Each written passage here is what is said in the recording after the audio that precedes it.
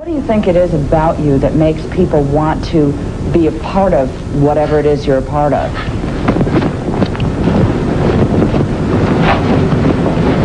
I'm brand new.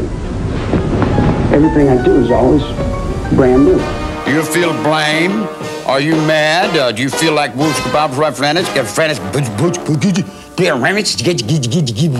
The reason that the girls liked me was, hey now, hey now, I'm all around you, round you.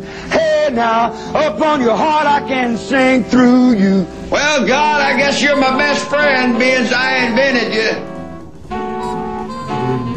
Sure, I believe myself. Why wouldn't I? Which one? Which, which Jesus? There's all kinds of Jesuses. There's a black Jesus down in Florida. He's having a good time. There's a Mexican Jesus in Mexico. I mean, there's all kinds of there's Jewish Jesus. I mean, Jesus, you know. There's all kinds of Jesus coming back everywhere. And nothing can stop it. It's a consciousness that lives in your mind. Da, da, da, da, da, you know. Tell it to Barry, ho, how you want. How? How you in your heart? That's it. That's what I sing. I sing, you know, just, you know, just however I feel. Hey, you don't mind if I'm directing to the point, do you? Not at all. It don't take me to tell you that you're about 10 pounds overweight, does it? Thanks. but I have to be honest with you. Go! Take a run! Oh, yeah! Do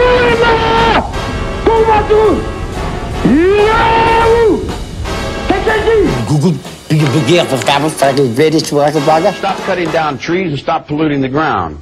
You dig? Let's clean up our the world we live in, you know? Hey, hey, hey, how you doing? You still in there? Is anybody there?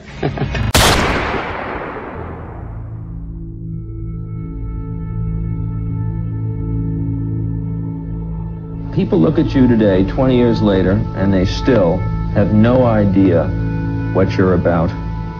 Tell me in a sentence who you are.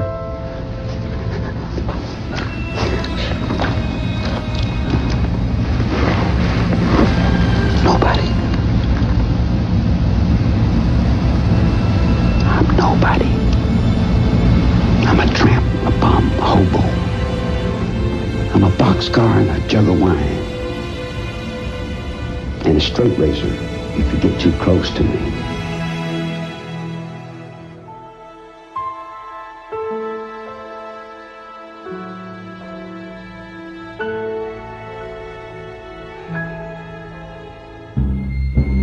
Vendredi 8 août 1969, vers minuit, une Ford jaune et blanche s'avance dans une impasse tout en haut de Cielo Drive, à Bel Air, un quartier de Los Angeles.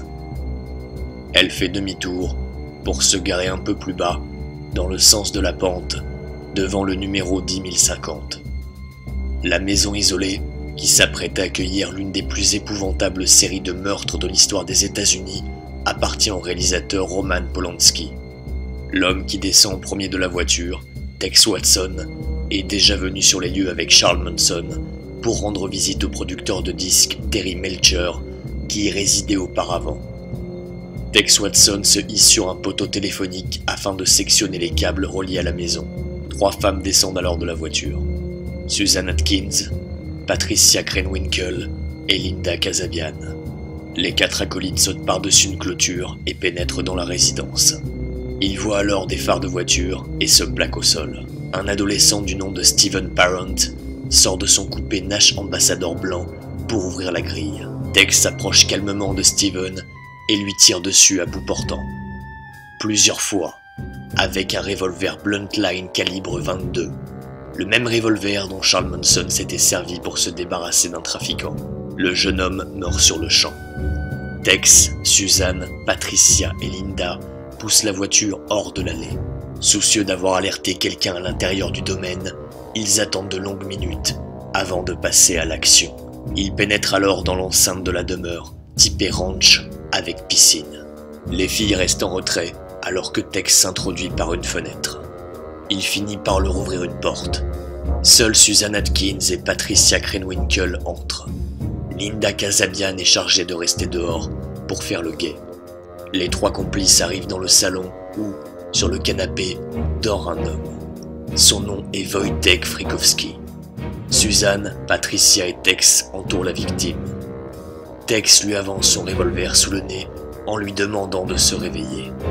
Wojtek ouvre les yeux et tente de protester, mais Tex a désormais braqué le calibre sur son front et tient un couteau dans l'autre main. Le pauvre homme demande ce qu'il se passe et ce qu'on lui veut, ce à quoi Tex répond. Je suis le diable, et je suis ici pour faire le travail du diable. Je veux ton fric. Susan Atkins amène alors une serviette pour ligoter Wojtek Frikowski, puis se rend dans une autre pièce de la maison.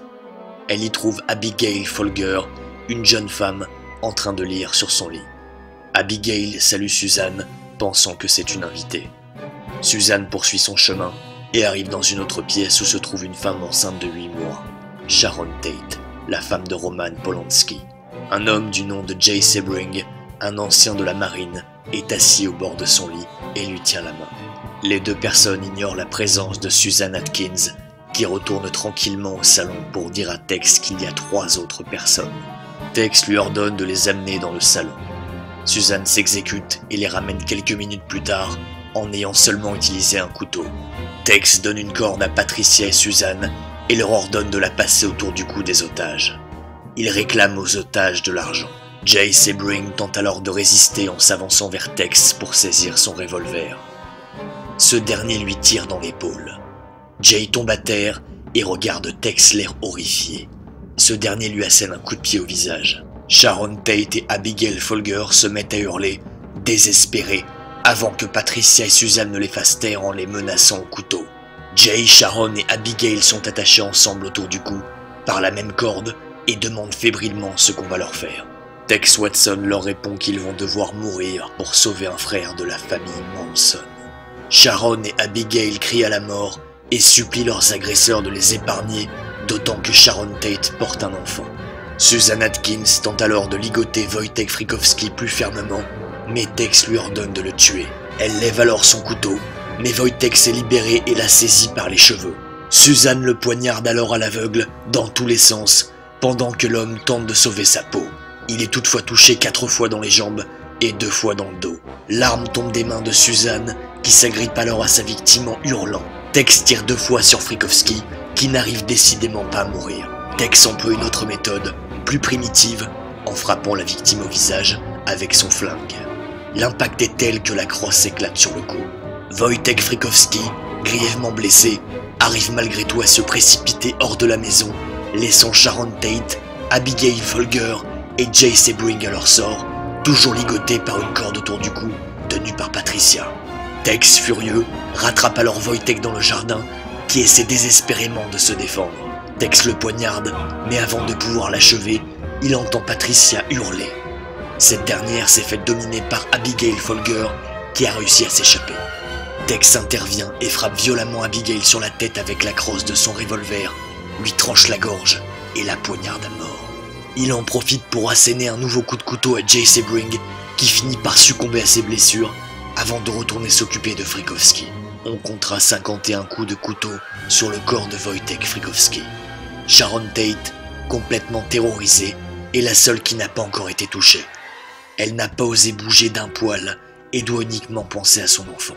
Mais alors que Suzanne, Tex et Patricia martyrisent Wojtek Frikowski, qui finit par mourir, Sharon Tate se met à courir dans la direction opposée pour échapper à ses agresseurs. Malheureusement, Patricia s'en est rendu compte et avertit Suzanne. Les deux filles la rattrapent aisément et la ramènent dans le salon. Sharon se retrouve seule survivante face à Tex Watson, Suzanne Atkins et Patricia Krenwinkel. Suzanne la saisit et malgré le fait que Sharon supplie qu'on la laisse en vie, rappelant trois démons autour d'elle qu'elle est enceinte, Tex lui assène des coups de couteau. Suzanne et Patricia en profitent également pour la poignarder. Sharon Tate meurt dans d'atroces souffrances dans sa propre maison avec son enfant qui n'est pas encore né. Susan Atkins se sert du sang de Sharon pour écrire le mot pig dans la maison. Linda Casabian attend ses complices dans la voiture, moteur en marche. La bande retourne à leur repère, au Span Ranch, et raconte tout à Charles Manson qui n'est pas choqué par ce qu'il vient d'entendre. Néanmoins, il n'a pas entière confiance en ses compagnons et décide d'aller sur les lieux du crime avec une autre personne afin d'effacer les éventuelles traces qui pourraient mener la police jusqu'au ranch. Il prend la Ford et aussitôt arrivé dans l'enceinte de la demeure de Polanski, il n'en revient pas. Alors qu'il était resté insensible au récit de Tex et Suzanne, il se rend un peu plus compte de l'atrocité de leur crime. Il n'échange pas un mot avec son complice et les deux s'activent pour effacer le plus d'empreintes possible avant de retourner au ranch. Le lendemain matin, Charles Monson est surpris de la célébrité des victimes en écoutant les informations à la télé et à la radio. Au lieu d'éprouver une quelconque forme d'empathie, il est dégoûté que le butin rapporté soit inférieur à 100 dollars. Pas le moindre bijou rapporté, pas de drogue, rien. Nous sommes maintenant le samedi 9 août 1969 et l'horreur va s'abattre une nouvelle fois sur Los Angeles. Monson et sa bande sont à la recherche d'une nouvelle maison habitée par des riches. Ils roulent autour de San Fernando Valley, Santa Monica, West LA, Hollywood et Pasadena. Monson repère surtout des habitations de classe moyenne. Ça ne lui va pas. Il demande alors que la voiture s'arrête devant une église. Linda lui dit qu'ils ne vont quand même pas tuer un prêtre, ce à quoi Manson répond par l'affirmative. En vérité, il voulait juste aller pisser. Les repérages continuent et deux heures s'écoulent sans rien trouver. Manson pense alors au coin près de Griffith Park. La voiture s'arrête en face de la maison de Leno et Rosemary LaBianca. Charles Manson s'équipe d'un revolver et Tex Watson d'un couteau. Il pénètre dans la maison par la porte de derrière qui est ouverte. Un chien d'une taille respectable vient les accueillir, mais au lieu de les attaquer ou d'aboyer, il lèche la main de Manson. Ce dernier s'introduit dans le salon et utilise la même technique que Tex la veille. Leno LaBianca, endormi dans son fauteuil, est réveillé par Manson qui le tient en joue. Leno, effrayé, demande alors ce qu'on lui veut et qui sont ses agresseurs. Manson lui répond qu'il veut juste son argent. Leno leur promet de leur donner tout ce qu'il a, en échange de laisser sa femme tranquille. Ignorant sa requête, Tex ligote les mains de Leno pendant que Manson va cueillir Rosemary LaBianca dans la chambre à coucher. Celle-ci se laisse faire et finit dans le salon avec son mari. Les bandits demandent où se trouve l'argent. Leno leur répond qu'ils pourront trouver dans son portefeuille et dans le sac à main de sa femme. Tex se charge de ramener le butin, qui ne s'élève même pas à 100 dollars. Monson est une nouvelle fois déçu. Ça manque de grosses thunes. Leno le rassure en lui disant qu'ils pourront en avoir bien plus s'ils le conduisent à sa boutique. Monson est alors partagé entre le flou potentiel à se faire et le piège éventuel que lui tendrait Leno. Il décide de tester sa proie. Il ordonne à Tex de raccompagner Rosemary dans la chambre.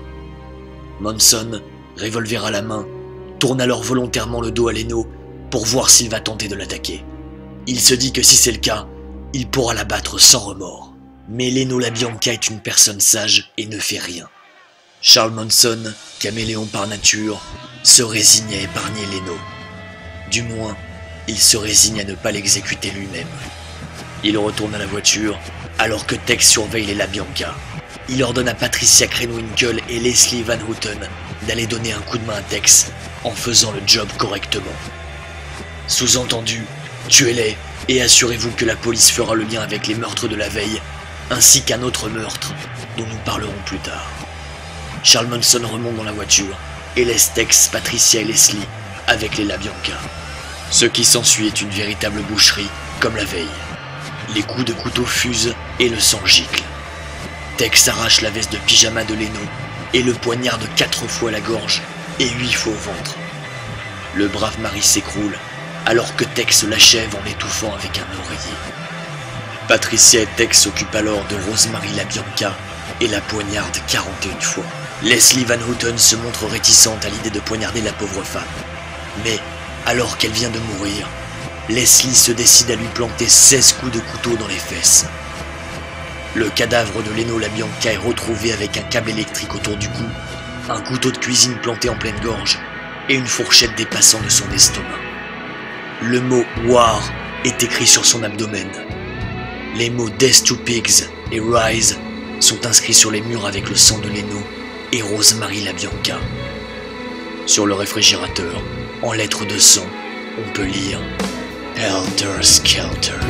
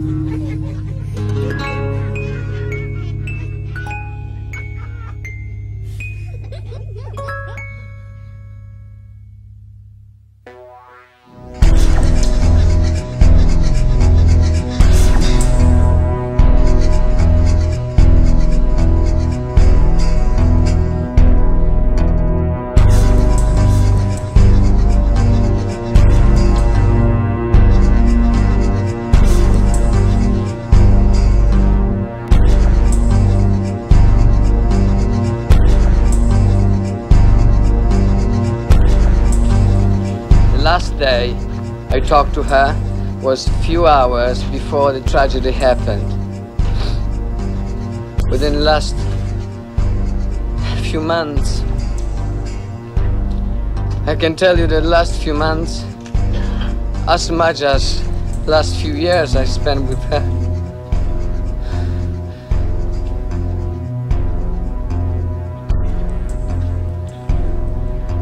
Were only time of true happiness in my life.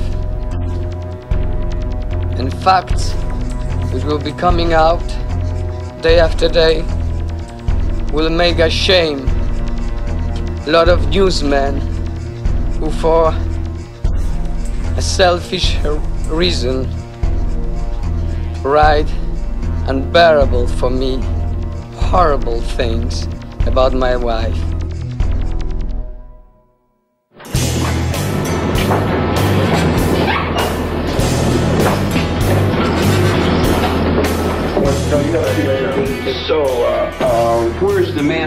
Dealing with in this interview? Is it you? How, do I look like a man to you? Well, where's the gentleman that I was communicating with in the uh, in the letters? A gentleman. I sent you a telegram. My name is Penny Daniels. I'm from Inside Story in Miami. You were dealing with... This is Miami. They said this was France. Didn't you say this was France? That's what they said over there, but that information must have been wrong, Charlie.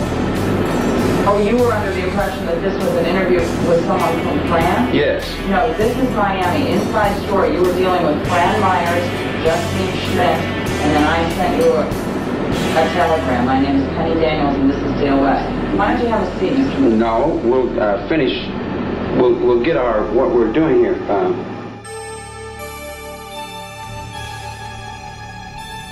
Vous connaissez tous Charles Monson.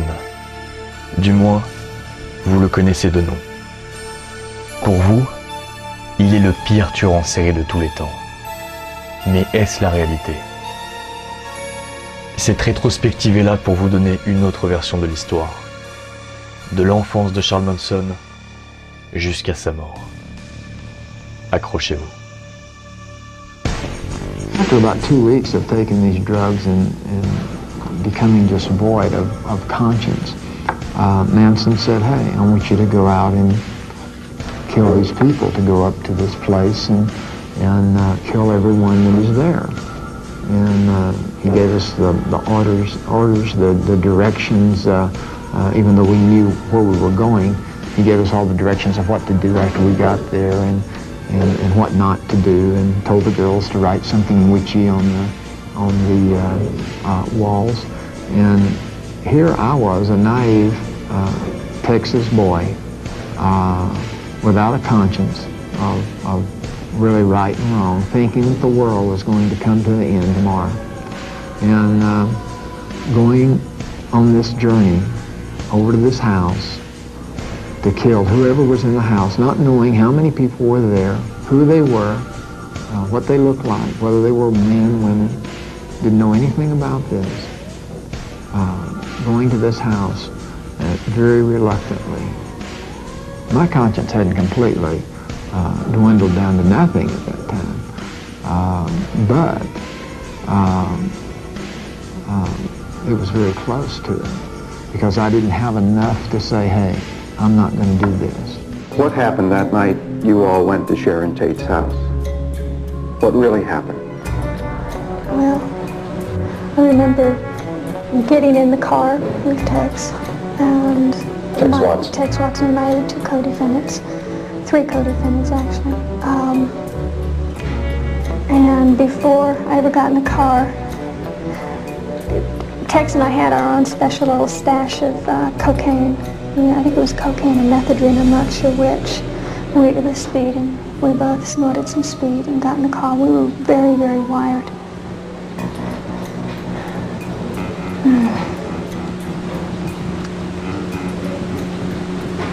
Drove to the house uh, with instructions to kill everyone in the house. From Charlie. Yeah. Why that house that night? Why they Which went house? there? Which night? The house on Cello Drive, the, the Tate house. Why did they go there that night? Uh, because Tex had been there before, and he went to a familiar place.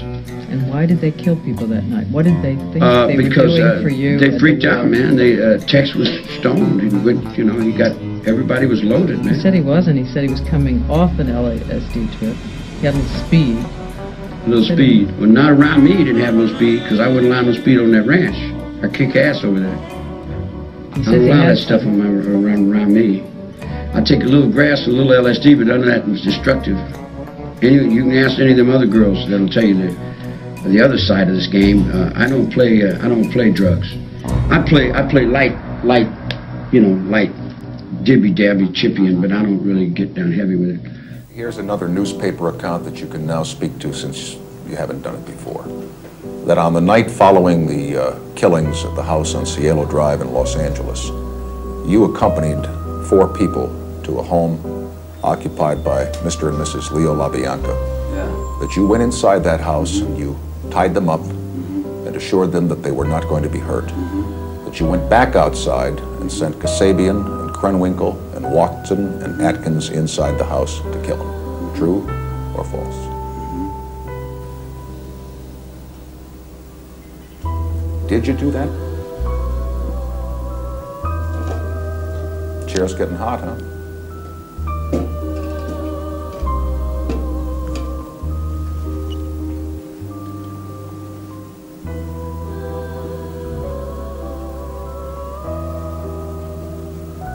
Did you do that? Did I kill anyone? No. Did you go in and tie up the LaBiancas that night? Very simple question. That night. August 10th, 1969. That night. August the 10th. Did you? 1969. Why, Duncan? Why dodge it? Why not answer it yes or no once and for all? Put it behind you.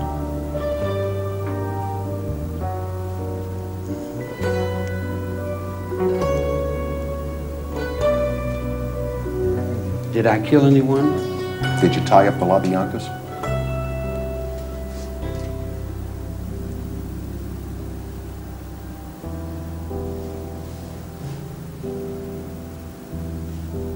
Atkins testified you did. That's what Susie said? That's what she said. Yeah. And you remember, you were in the courtroom when she said it. She's written three books, and each time she said something different. Mm-hmm. Each time. Did you tie him up? Did I? Well, we came down from Abilene.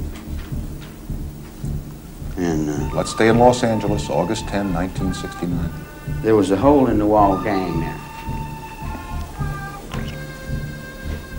Why don't you want to talk about it, Charles? Why don't you want to? Because I'm an outlaw, and I go so far, and then that's all you know. In other words, you go down to St. St. Louis, right? You, and you get off the bus and you're broke. You go to the phone and call moms. Right. I don't. I go to the alley and get a tire iron. And what? And do what? And whatever I got to do to survive, that's what I do. And so, what's the difference in you and me then? Because you don't know how to survive. You're weak. You have emotions. You play little games with your mind. You chase your tail. First of all, my mother was a prostitute, and she lived in the street. So you can't very well say that I pimped my mother when she gave me some milk.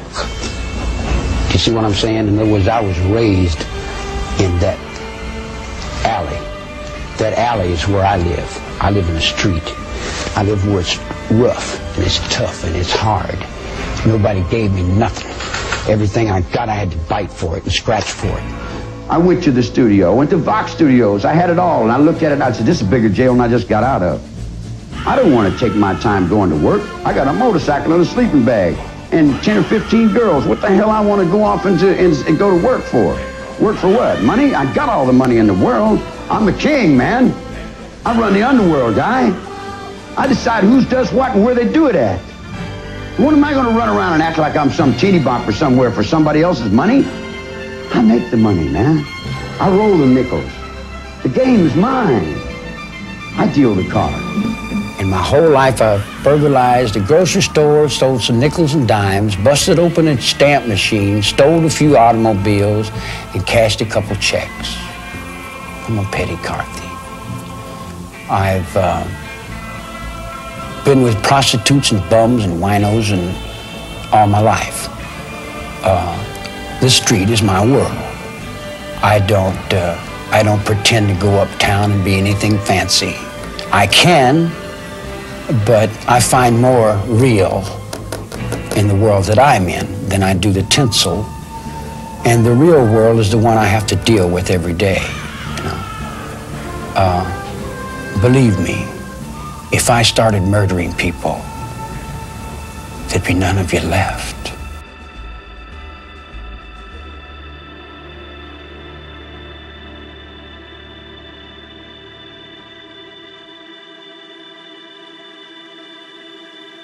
L'histoire de Charles Manson est impossible à raconter de manière complètement objective. On peut tout au plus donner une interprétation des événements qui sera plus ou moins vraie. Il y a des faits objectifs, mais aussi beaucoup d'éléments subjectifs qui sont parfois fabriqués de toutes pièces. Certains événements changent légèrement, voire radicalement, selon les personnes qui les ont relatés.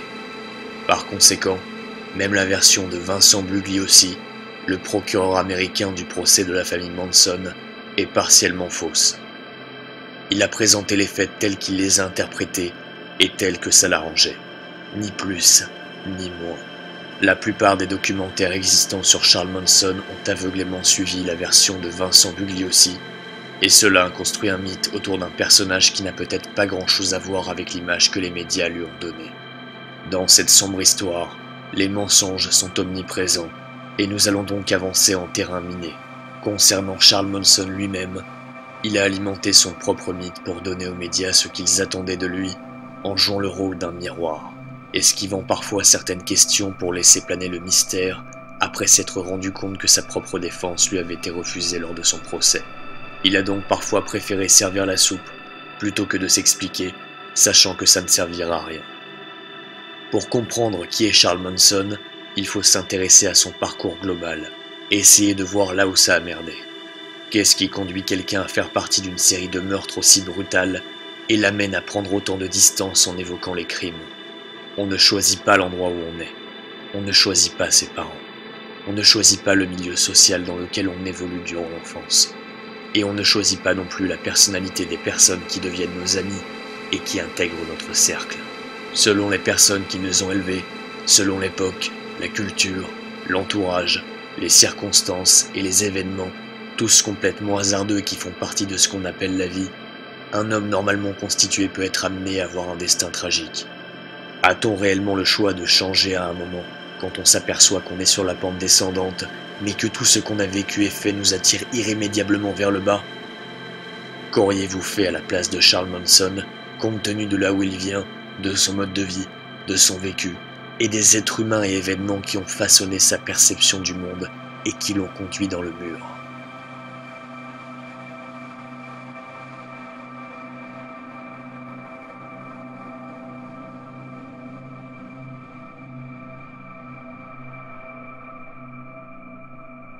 Pour comprendre ce qu'il s'est passé les 9 et 10 août 1969, il va falloir remonter dans le temps. Et nous allons commencer directement avec un problème de taille concernant les interprétations, les approximations et la vérité. La date de naissance de Kathleen Maddox, la mère de Charles Manson, est sujette à interprétation.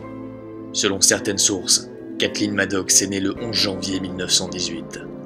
Selon d'autres sources, elle est née le 11 janvier 1919. Née à Ashford, dans le Kentucky, elle est la plus jeune des trois enfants de Charles et Nancy Maddox. Avançons au début des années 30. L'ambiance à la maison des Maddox est extrêmement religieuse. Nancy s'offusque à l'idée de voir sa fille sourire à un jeune adolescent. Pas de maquillage autorisé, pas de cigarettes, pas d'alcool, pas de jupe courte. Les cheveux doivent être attachés. On doit immédiatement rentrer à la maison après l'école. Toutes ces restrictions conduisent Kathleen, à l'âge de 15 ans, à faire l'inverse de ce qu'on lui dit et à avoir de nombreuses aventures avec des garçons. Plus tard, elle en viendra à vendre son corps pour survivre. Mais alors qu'elle n'est pas mariée, elle tombe enceinte d'un père qui s'est fait la malle, le colonel Walker Scott. Ce dernier s'occupera bel et bien de son fils, en le gardant plusieurs fois le week-end durant son enfance, avant de mourir d'un cancer en 1954. Un enfant bâtard est très mal vu à l'époque. Les adolescentes enceintes sont généralement envoyées à l'écart de leur famille et l'enfant est placé en adoption. Mais nous sommes au pic de la Grande Dépression des années 30 et cela n'est probablement pas possible pour la jeune Kathleen. À la place, elle fuit le foyer familial et décide d'aller vivre dans la rue. C'est une hippie des années 60 avant l'heure. Là encore, nous sommes face à une incertitude. Selon Charles Manson lui-même, Kathleen fuit en 1933. Selon d'autres sources, elle fuit en 1934. Mais il est aussi dit que c'est Nancy Maddox en personne qui a décidé d'envoyer sa fille ailleurs pour élever son enfant. Quoi qu'il en soit, elle se retrouve à Cincinnati, en Ohio. Kathleen a 16 ans quand elle donne naissance à son fils, Charles Maddox, le 12 novembre 1934. Elle épouse alors un homme beaucoup plus âgé qu'elle, du nom de William Manson, qui donne son nom de famille au petit Charles. Le mariage ne dure pas plus de deux ans. Kathleen boit énormément et couche dans tous les sens, ce qui lui rapporte parfois un peu de blé. En outre, elle n'assume pas la responsabilité d'élever seule un enfant. Elle confie souvent Charles Manson à des babysitters ou à ses parents. Un après-midi, alors que Kathleen se trouve dans un café avec le petit Charles sur ses genoux, la serveuse qui n'arrive pas à enfanter avance qu'elle serait prête à payer pour adopter Charles. La mère de ce dernier se dit prête à l'échanger contre une pinte de bière. La serveuse s'exécute et ramène la boisson à Kathleen. Aussitôt la bière finie, elle part en abandonnant son fils. Plusieurs jours s'écoulent avant que l'oncle du petit Charles arrive à retrouver la serveuse pour récupérer l'enfant. Cet événement dramatique n'a semble-t-il pas eu de conséquences sur l'amour que Manson portait pour sa mère. Il était bien sûr trop jeune pour s'en souvenir, mais paradoxalement, l'insouciance et le manque d'investissement complet de Kathleen ont amené Charles à s'attacher encore plus à sa mère. La seule chose qu'il souhaitait, c'était d'être avec elle. Hélas, en 1940, alors que Manson n'a que 6 ans, Kathleen Maddox dépose son enfant chez ses parents. Après son départ, Charles Maddox annonce à son petit-fils que sa mère ne reviendra pas avant un bon moment. La raison de cet abandon est que Kathleen et son frère ont braqué une station-service. Selon certaines sources, ils ont assommé le vendeur avec une bouteille de coca, et selon d'autres, avec une bouteille de ketchup. Ils ont été arrêtés et condamnés à 5 ans de prison à Mansville State. Charles Manson se retrouve donc sous la tutelle de ses grands-parents, notamment de sa grand-mère Nancy, toujours aussi rigide sur l'éducation. La discipline est de mise, et Manson devient en quelques jours, selon ses dires, la chochotte du quartier. Mais à peine quelques jours après son arrivée dans le foyer, il est envoyé chez sa tante Joanne et son oncle Bill McMetchen. Bill est un mec à l'ancienne, extrêmement macho et s'insupporte de voir Charles pleurer. Il lui demande de se comporter en homme, mais devant les pleurs continues du petit garçon, il décide de l'envoyer habillé en fille lors de son premier jour d'école. Charles Manson est alors rempli de honte et subissant les moqueries de ses camarades, il commence à se battre avec tout le monde. Cela plaît à Bill, qui ne lui fera plus jamais porter des vêtements de fille. Bill et Johan fournissent à Charles l'éducation et la stabilité qui lui manquaient. Avec le temps, il leur en sera reconnaissant, mais comme il le confiera, quand ce ne sont pas vos propres parents, c'est pas pareil. Il subit constamment des moqueries et des remarques désobligeantes sur sa mère de la part de ses camarades de classe qui lui rappellent qu'elle est en prison et que c'est un fils bâtard.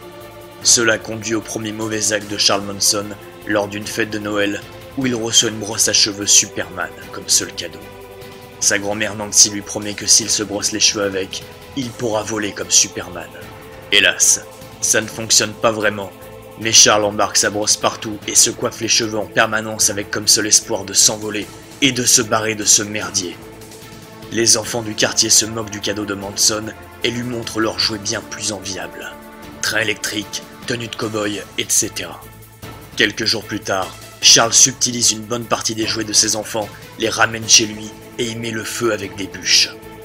Cet acte signe le premier contact de Charles Manson avec la police, alors qu'il est seulement âgé de 7 ans. Un an plus tard, Kathleen Maddox obtient une liberté conditionnelle et vient récupérer la garde de son fils. Charles, âgé de 8 ans, est alors l'enfant le plus heureux du monde. Kathleen et son fils adoptent alors un style de vie très nomade. Elle enchaîne les petits jobs, notamment en tant que serveuse, et voyage de l'Indiana au Kentucky, en passant par la Virginie occidentale. Tout se passe plus ou moins normalement, à l'exception qu'elle continue d'enchaîner des aventures plus ou moins durables. Le tempérament du petit Charles est aussi explosif que celui de sa mère, et cela ne plaît pas à un homme qui quitte Kathleen. Cet événement conduit cette dernière à se présenter devant un juge avec son fils, avant qu'il se retrouve placé dans un foyer pour garçons. Charles Manson est placé à la Gibbold Home for Boys dans l'Indiana, un établissement extrêmement religieux. La première fois qu'on le conduit au dortoir, où il va passer les dix mois à venir, Charles, maintenant âgé de 12 ans, n'arrive plus à respirer. Il en a des crampes à l'estomac et se met à pleurer. Il ne comprend pas comment sa mère a pu l'abandonner. Les semaines passent et Kathleen Maddox rend visite à son fils de temps à autre. Elle lui dit qu'elle a obtenu une meilleure situation financière et un chouette appart et qu'elle viendra bientôt le récupérer. Quand elle lui annonce qu'elle reviendra le voir dans deux semaines, il s'agit plutôt de deux mois. À chaque visite, elle lui promet de venir le récupérer très prochainement. Hélas, ce moment n'arrive jamais. Désespéré, Monson finit par s'évader de Guybolt et retourne directement chez sa mère. Il pense qu'elle va l'accueillir à bras ouverts et convaincre le juge de récupérer la garde. La première chose que fait Kathleen Maddox le lendemain, c'est balancer son propre fils. Retour au Home for Boys. Le temps de l'innocence est terminé pour Charles Monson. Il n'a plus de mère, il n'a plus de famille, et il n'a même plus de larmes.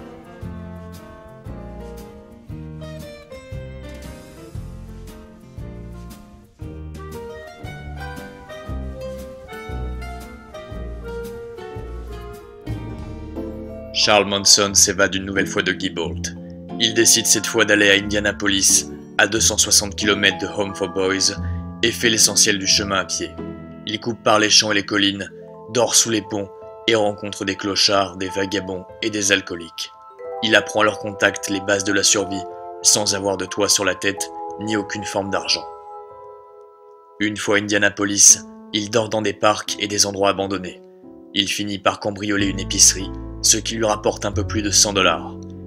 N'ayant aucune notion de l'argent, il dépense rapidement tout ce qu'il a en louant une chambre d'hôtel, en se payant des bons repas et en s'achetant de nouvelles fringues. Il commence alors des petits boulots, de nettoyeur de carreaux à éboueur, et continue de voler tout ce qui peut lui rapporter le moindre centime. Au bout de quelques semaines, il se fait coffrer par la police pour un vol de vélo. Charles Monson, toujours âgé de 12 ans, comparaît devant une cour pour mineurs en présence de sa mère et est envoyé à la Boys Town du père Flanagan. Quatre jours après son arrivée, il s'enfuit de nouveau avec un autre garçon, en volant une voiture et en faisant deux braquages à main armée. Il se réfugie chez l'oncle du nouveau camarade de Manson, un vétéran de la Seconde Guerre mondiale qui vit d'une pension d'handicapés et qui se trouve également être un bandit. Il établit des plans avec ses deux recrues pour cambrioler de nombreux endroits. Manson se fait de nouveau prendre par la police et est emmené à la Juvenile Home d'Indianapolis. Il s'en évade à peine un jour plus tard, aidant une trentaine d'autres délinquants à s'enfuir. Il est rattrapé par la police deux heures après, alors qu'il conduit une voiture volée. Nous sommes en 1948 et le juge, obligé de sévir, envoie Manson en maison de correction à l'Indiana School for Boys.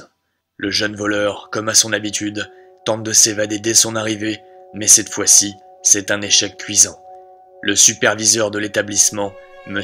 Clark, conduit Manson et quatre autres jeunes dans l'atelier de plomberie.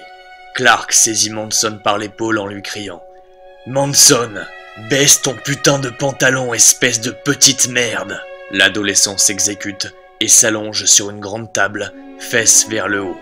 Clark prend une lanière de cuir d'un mètre de long et de 10 cm d'épaisseur avec un manche en bois. Il demande à ses hommes de bien écarteler Manson. Quatre coups de fouet plus tard, un homme chuchote à l'oreille de Manson qu'il vaudrait mieux qu'il pleure, car Clark aime entendre la souffrance de ses victimes. Manson hurle et pleure alors qu'il se fait passer à tabac. Il s'écroule au sol une fois la sanction passée. Cet événement lui laissera des cicatrices sur ses fesses jusqu'à sa mort. Une semaine plus tard, Charles Manson se fait battre et violer par quatre co-détenus plus imposants que lui sans pouvoir se défendre. Suite à cela, il devient la risée de Monsieur Fields, un autre responsable de l'Indiana School for Boys qui a toujours pour habitude de baisser le pantalon de Manson et d'avertir tout le monde qu'il est facile à violer. Cinq mois d'humiliation s'ensuivent et un soir, Charles Manson est bien décidé à se venger.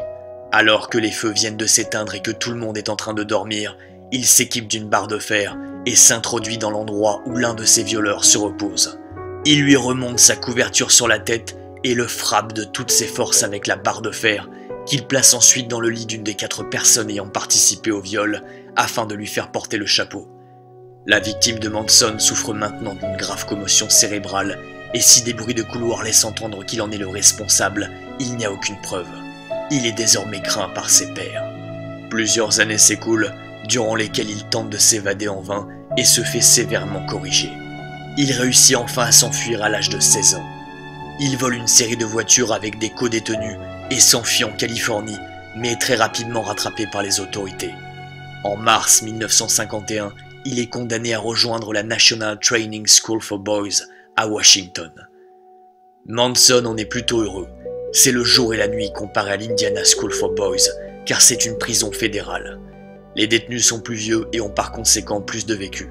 Fini les gamins et les surveillants pédophiles. Mais ça reste un environnement de prison. Les détenus ne sont pas des enfants de cœur et essaient de se prouver leur virilité. Manson, justement, n'est pas l'homme le plus viril du monde. Il est petit et maigre, mais compense ce qu'il n'a pas physiquement par le mental, la ruse et ses cinq années passées en prison. Il s'invente petit à petit une personnalité et une vie qu'il n'a pas eue pour impressionner son entourage carcéral. Selon les gens qui l'écoutent, il a tout vu et tout vécu. Mais à l'intérieur, Manson sait bien que tout ce qu'il raconte n'est que du vent et qu'il n'a même pas encore connu l'amour d'une femme. Comme tout adolescent, il commence à avoir des pulsions sexuelles, mais le milieu dans lequel il évolue est dépourvu de filles, ce qui le conduit à avoir des relations homosexuelles. En trois ans, Manson passe par quatre institutions pénitentiaires différentes et finit par se retrouver au Federal Reformatory dans l'Ohio. Il n'est plus le petit garçon abandonné qui attendait le retour de sa chère maman depuis longtemps. Loin d'admirer les Cary Grant et Marlon Brando de son époque, il s'identifie à des figures de hors-la-loi, hors du système, comme Jesse James et Al Capone. Il finit par fréquenter le parrain de la famille Luciano, Frank Costello, en prison, et apprendre à son contact. Il apprend énormément. Il déborde d'admiration pour lui et l'univers mafieux. En mai 1954, Manson obtient sa libération conditionnelle grâce à l'aide de son oncle et sa tante McMetchon, chez qui il retourne vivre et enchaîne de nouveau les petits boulots. Un soir, alors qu'il vient de terminer sa journée, il s'arrête dans une salle de jeu et gagne plusieurs fois. La chance semble enfin lui sourire. C'est à ce moment-là qu'il rencontre Rosalie Jean Willis, une serveuse qui deviendra sa première femme et avec qui il aura son premier enfant. Le couple se marie en 1955 et tout semble sourire à Manson. Mais il faut payer le loyer, les factures, en bref, les coûts de la vie. La prison n'a pas appris à Manson comment gérer un budget et le couple se retrouve très vite dans le rouge. N'ayant aucun soutien financier de ses proches, il décide d'aller au plus simple, le cambriolage de bagnoles. Il renoue contact avec un ami gangster qui lui demande de voler une Cadillac pour la conduire jusqu'en Floride et la remettre à une connaissance. Le deal était que le contact devait remettre 500 dollars en cash à Manson, mais il ne lui en remet que 100 et lui demande d'aller se faire foutre. Furieux, Manson empoche l'argent et retourne voler la Cadillac pour l'abandonner quelque part avant de retourner chez lui. Évidemment, le gangster se lance à sa poursuite. C'est dans ces conditions que Manson et sa femme fuient en Californie à bord d'une voiture volée, une Mercury 51. À chaque étape de l'évasion, ils braquent et cambriolent ce qu'ils peuvent. Arrivé à Los Angeles, Manson reprend un semblant d'activité normale en enchaînant encore et toujours des petits boulots, ce qui ne lui empêche pas de piquer dans les caisses dès qu'il en a l'occasion. Très vite, Manson se fait interpeller pour vol de véhicule et comparé devant un juge qui lui donne seulement 5 ans de mise à l'épreuve compte tenu du fait que Rosalie est enceinte depuis plusieurs mois. Le couple continue d'errer un peu partout en volant et en pillant ce qu'ils peuvent pour arrondir les fins de mois. Mais alors que Rosalie est sur le point d'accoucher, Manson l'envoie chez sa mère Kathleen. Charles Manson retourne en prison, cette fois-ci à Terminal Island, à San Pedro. Il a désormais 21 ans. Un an s'écoule, et un beau jour, il apprend par sa mère que sa femme est partie vivre dans un autre état, avec un autre homme, embarquant par la même occasion son jeune bébé. Le peu d'optimisme qui lui restait s'éteint complètement. Manson est déterminé à retrouver sa femme et son enfant et tente plusieurs fois de s'évader, ce qui lui vaut un allongement de 5 ans de mise à l'épreuve, ainsi qu'une surveillance renforcée. Durant son séjour à Terminal Island, Manson fréquente des Macs et en apprend énormément sur l'univers de la prostitution. Il se met en tête que c'est un métier taillé sur mesure pour lui. En 1958, après trois années à l'ombre, Manson file vers Hollywood, qui le répugne très rapidement, mais où il décide de devenir macro. Il rencontre rapidement une femme qui accepte de travailler pour lui et dont il tombe fou amoureux. Il se rend compte qu'il est possessif et jaloux en voyant sa nouvelle recrue se donner à d'autres hommes, mais le pognon arrive à le consoler. Il arrive à convaincre plusieurs femmes de bosser pour lui et devient rapidement l'homme qu'il rêvait d'être. Ça lui plaît d'être macro. Ça rapporte grave. Mais tout s'écroule un an et neuf mois plus tard, en mai 1959, alors qu'il tente d'encaisser un chèque gouvernemental d'un montant de 37 dollars. Il prend 10 ans de mise à l'épreuve, ce qu'il trouve cher payé. Mais compte tenu de ses délits précédents, ça n'a rien de très surprenant. À la moindre effraction, il retourne au trou. Pour longtemps. Il le sait. Mais Manson est irrattrapable. Lui-même s'en rend compte. Quelque chose ne va pas chez lui. Il finit toujours par se faire coffrer. Il pourrait essayer de changer, de devenir un citoyen honnête, mais voler et évoluer dans un milieu pourri sont dans sa nature. Il a baigné là-dedans dès son plus jeune âge. Il décide donc de ne pas aller contre ce qu'il est profondément et accepte de faire son temps en prison. Et ce n'est pas comme s'il avait le choix. Au début de l'année 1960, il se rend avec ses filles à Laredo, au Texas. Les billets tombent en masse. Monson a tellement de fric qu'il songe à s'installer dans la région. Mais l'une des filles se fait embarquer pour racolage. La police l'interroge et elle balance son patron sans hésitation. Charles Monson n'a plus qu'une seule issue, fuir au Mexique, un pays suffisamment abstrait pour faire le lien entre territoire hostile et le monde tel que Charles le conçoit. Charles est désormais un gringo et s'improvise toréador. Mais étant trop petit, il se rend vite compte que ce n'est pas pour lui. De toute façon, il se fait rattraper par les autorités et se fait enfermer dans une cellule de la prison de Laredo pour être finalement envoyé à la prison de McNeil Island en juillet 61, un endroit où l'évasion est impossible car on ne peut y accéder que par bateau. Manson est alors déterminé à se cultiver et à apprendre.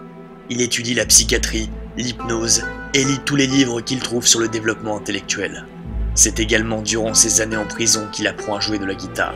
Un jour où sa mère lui rend visite, Charles lui demande si elle peut lui acheter une guitare à 200 dollars. Kathleen lui répond qu'elle prend sur le budget des courses pour venir le voir. Deux mois plus tard, Kathleen Maddox vient lui présenter sa sœur, dont les frais d'adoption s'élèvent à 2000 dollars. Manson est furieux en constatant que sa mère lui a menti concernant l'argent. Cela signera sa déception finale avec elle.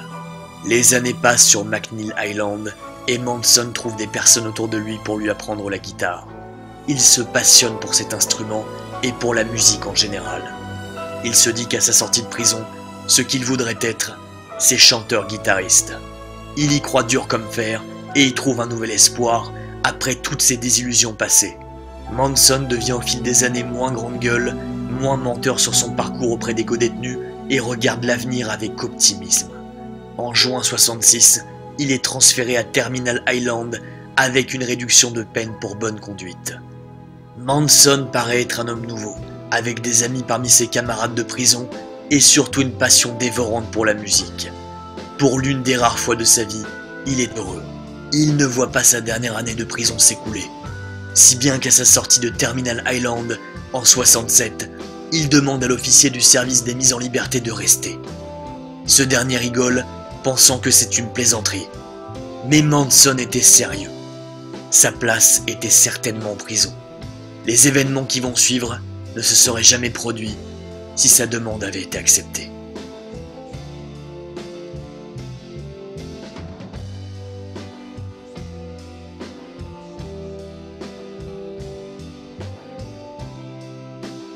Nous sommes en 1967. Les États-Unis ont beaucoup changé en l'espace de 7 ans. Tout s'est accéléré. Le président est Richard Nixon, le pays est en pleine guerre du Vietnam, des émeutes menées par des Afro-Américains éclatent à Détroit et dans le New Jersey, et la scène musicale a bien évolué avec l'avènement des Doors et des Beatles. La marijuana, considérée à l'époque inoffensive, est vendue massivement à travers tout le pays. L'été 67, appelé Summer of Love en Californie, accueille le LSD comme drogue favorite des hippies, John Lennon et Paul McCartney en font la promo à peine déguisée avec Lucy in the Sky with Diamonds. L'époque de Frank Sinatra est révolue. Une nouvelle génération de jeunes paumés, drogués en permanence avec des leaders insouciants, est en place. C'est dans ce nouveau monde qu'est catapulté Charles Manson, qui s'installe très rapidement en Californie du Nord. Autant avoir mis un curé dans une église remplie de mômes en maillot de bain. Manson dégote rapidement, grâce à l'un de ses nombreux contacts, une audition dans une boîte de nuit de North Beach. Le gérant trouve qu'il se débrouille pas mal, mais qu'il n'est pas en rythme avec l'époque. Tout va beaucoup plus vite, y compris avec les gonzesses. Manson passe ses nuits dans un parc et rencontre un adolescent de 15 ans qui lui paie un repas et l'initie au LSD. C'est le premier contact de Manson avec la drogue. Déjà trop vieux pour ses conneries, il se rend vite compte qu'il faut qu'il prenne ses distances avec cette merde, mais constate l'effet que cela produit sur les autres, qui sont complètement désinhibés. Il se laisse pousser les cheveux et commence à chanter et jouer de la guitare en public. Il joue dans la rue, ce qui lui rapporte de quoi survivre. Ça le motive énormément. Cette époque lui convient parfaitement. Il est dans son élément. Il profite de sa liberté. Il rencontre un jour une femme rousse, assez mince, du nom de Marie Brunner, alors qu'il joue de la guitare sur un campus. C'est une bibliothécaire. Manson sympathise très vite avec elle et finit par se faire héberger gratuitement. Marie Brunner devient alors, sans le savoir, la première membre de ce qu'on appellera la famille Manson. Dès le premier soir, Charles Manson fait des avances à Marie, mais celle-ci refuse. Il se résigne, étant satisfait d'avoir un toit sur la tête malgré tout. Quelques jours plus tard, alors qu'il se balade dans le quartier de Haight Ashbury, il voit un homme noir alpaguer une jeune adolescente qui a l'air complètement perdue. Manson intervient, prétextant qu'il est son frère. La jeune femme, qui s'appelle Darlene, a 16 ans. Elle a fui de ses chez parents et est complètement paumée. Manson lui propose de l'héberger chez Marie. Très vite, Manson va coucher avec Darlene, puis Marie. Les trois vont former un triangle amoureux dans l'appartement de Marie Brunner, jusqu'à ce que Darlene se résigne à rentrer chez ses parents. Celui qui n'avait quasiment eu aucune expérience avec les filles à 33 ans, outre sa première femme, s'enorgueillit rapidement d'en avoir pris deux aussi rapidement et facilement. Il gagne en assurance en l'espace de quelques semaines. Il comprend par la même occasion que plus on laisse une femme libre de faire ce qu'elle veut et de coucher avec qui elle veut, plus on peut l'attirer et en attirer d'autres. Mais la vie sédentaire ne suffit pas à Manson.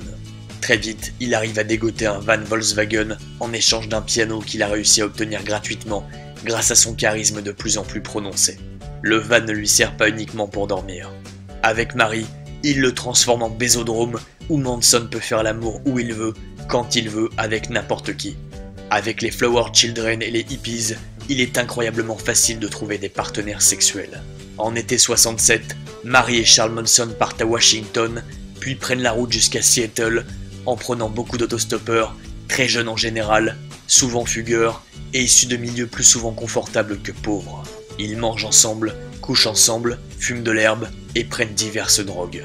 C'est durant cette période de libertinage et de voyage que Manson commence à avoir son concept en tête. Former un cercle, une famille, une micro-société hors du temps, hors des normes, hors des lois, hors du monde. Énormément de jeunes paumés en perte de repères, quasiment constamment sous l'emprise d'une drogue, consultent Manson comme une figure paternelle, étant donné qu'il a désormais 33 ans, et lui demandent des conseils. Il leur partage sa philosophie de vie. Soyez vous-même, aimez-vous, abandonnez votre ego. Ce monde consumériste est merdique. Le matériel n'est rien. Vivez au jour le jour. Voyagez, expérimentez la vie telle que bon vous semble. Si vous sentez que c'est bon pour vous, faites ce que vous avez à faire. Partagez l'amour. Ne vous concentrez pas sur une seule personne. Vous n'appartenez à personne et personne ne vous appartient. Pensez à l'avenir. N'abandonnez jamais un frère. La famille Manson commence peu à peu à prendre corps et il s'agit surtout de jeunes filles. La deuxième véritable recrue est Lynette Fromm, fille d'un ingénieur en aéronautique. Encore une fois, le mode de vie de Manson n'attire pas forcément les pauvres, bien au contraire. Il multiplie ses voyages dans son van et ses membres prêts à rejoindre sa cause basée essentiellement, soyons clairs, sur le sexe. Manson ne voit pas son cercle grandissant comme une secte, malgré le fait qu'il en soit l'influenceur principal dû à son âge. En outre, contrairement aux autres, sa consommation de drogue est limitée. Il est juste heureux d'avoir son harem, de coucher avec autant de filles qu'il le souhaite, et de servir de guide à toute personne ayant des questions sur la vie. Fort de ses années de prison, il pense qu'il est passé à travers suffisamment de merde pour les éclairer sur ce qui est fondamental dans la vie et ce qui ne l'est pas. Il a trouvé son mode de vie et ne fait de mal à personne. Le problème, c'est qu'il ne se rend pas compte à quel point la drogue est un composant essentiel de sa petite communauté. L'époque est tellement permissive sur la consommation de drogue en tout genre qu'il ne se pose même pas la question. Ses années de prison ne l'ont pas préparé à ça. Un jour, un ex-tolard donne à Manson deux flingues et une carabine pour de la revente. Il les balance à la flotte, ne voulant pas être mêlé à une éventuelle tuerie à venir par le futur acheteur. Il a réussi à trouver une façon de survivre et arrive plus ou moins à vivre de sa musique. Il se voit comme un bon samaritain, prêt à aiguiller n'importe quel jeune qui vient le voir. De préférence, c'est mieux si c'est une jeune fille prête à coucher avec lui. Mais toutes ces filles, ses conseils et ce succès nouveau commencent à lui monter à la tête. Il commence à se voir comme quelqu'un d'intouchable en marge de la société. Un genre de hors-la-loi qui baisse tout ce qui bouge, mais avec certains principes. Une sorte d'Al Capone des mini-jupes de mineurs. À l'automne 67, Manson, Marie et Lynn vont à Santa Barbara et vont traîner dans le coin de Manhattan Beach, chez un ex-détenu. C'est à ce moment-là qu'il rencontre la troisième membre de sa famille, Patricia Krenwinkel, qui se retrouvera impliquée deux ans plus tard dans la série de meurtres Tate LaBianca. Son père est vendeur d'assurance. Elle n'a pas de problème financier particulier, loin de là. Ayant un physique assez difficile, Patricia considérait un temps être nonne. Mais Charles Manson va la rassurer et la convaincre qu'elle est belle, ce à quoi elle aura du mal à croire, mais ils vont vite coucher ensemble, et elle ne va vite jurer que par le nom de l'homme qui lui a trouvé autant de qualités et le suivre dans ses aventures. C'est bien plus excitant que la vie toute tracée et ennuyeuse dans laquelle elle est enfermée. Les fêtes, le sexe, les drogues et les prestations musicales de Manson en public se multiplient. La musique permet d'être payé en herbe, en acide et en pilule. Avec trois filles dans sa bande, il est le roi de la fête partout où il va. Avec le groupe qui s'étoffe de semaine en semaine, le van commence à être trop petit. Grâce aux filles, Manson réussit à troquer le van, plus quelques dollars contre un bus scolaire. C'est l'occasion de faire participer encore plus de monde à l'aventure. C'est là que Susan Atkins arrive dans la bande, lors d'une fête où Manson se produit. Elle lui dit qu'elle a adoré l'entendre jouer. Atkins, contrairement aux autres filles, vient d'un milieu plus populaire. Ses deux parents étaient alcooliques. Sa mère est morte d'un cancer 4 ans auparavant et son père l'a abandonné, ce qui l'empêche de poursuivre ses études. Charles et Suzanne ont très vite une relation sexuelle où Suzanne, plus connue dans la bande sous le surnom de Sadie, adore dominer. Pas étonnant de la part de l'un des futurs cerveaux des tueries de l'été 69. À Los Angeles, sur le Topanga Canyon Boulevard, la bande va se rendre dans une maison qui sera baptisée la Spiral Staircase. C'est dans ce lieu que la philosophie de la famille Manson va commencer à réellement prendre forme. C'est un endroit de passage où les gens font des rites interdits en ville, avec tout ce que cela comporte d'orgies sexuelles et de sacrifices d'animaux, avec une consommation de drogue inédite. C'est réellement dans cet endroit que Manson va inconsciemment comprendre comment certains gourous endoctrinent leurs disciples grâce à la drogue et en instaurant un climat de peur. Lui ne veut pas devenir un gourou et prône des valeurs inverses à celles de la peur. Avec son harem de femmes, composé entre autres de Mary Brunner, alors enceinte de Manson, Susan Atkins et Patricia Krenwinkel, Charles Manson se fait très vite une place de renom au sein de cet établissement. La consommation de LSD est excessive, les filles dansent seins nus, et une nuit, Manson est tellement défoncé qu'il décide de diminuer sa consommation de manière permanente. C'est ce qui le rendra plus clairvoyant et qui l'empêchera de perdre son groupe, du moins, c'est ce qu'il pense. Quoi qu'il en soit, il se rend compte que tout ça commence à déconner sévère. Mais il n'a jamais eu autant de succès et d'opportunités sexuelles de sa vie. Alors, pourquoi s'arrêter en si bon chemin? Plus tard, Manson décide d'utiliser un contact qu'il a obtenu en prison, qui s'avère avoir un poste important chez Universal. L'homme en question est non seulement conquis par la musique de Manson, mais surtout par son mode de vie avec son bus et toutes ses jeunes filles. Peu de temps après, il est invité dans le bus magique, qui a été redécoré par les filles pour l'occasion. Une nana s'occupe de masser Manson, pendant qu'une autre lui amène une cigarette. Cette ambiance et cette soumission des femmes impressionnent suffisamment l'homme d'Universal pour offrir à Manson sa première séance d'enregistrement qui se déroule très bien. Manson commence alors à fréquenter de nombreuses personnes connues à Hollywood en étant invité à des fêtes privées de Beverly Hills à Malibu. L'ex-Tolar ex-Macro est maintenant quelqu'un de respecté et tout le monde semble prêt à servir sa cause. Plus rien ne semble pouvoir l'arrêter. Les fêtes psychédéliques et sexuelles dans le repère qui est devenu la Spiral Staircase ne s'arrêtent plus et la famille s'agrandit de jour en jour. Diane Lake et Bobby Beausoleil rejoignent la troupe. Il y a désormais une vingtaine de membres dans la famille Manson et le bus devient trop étroit.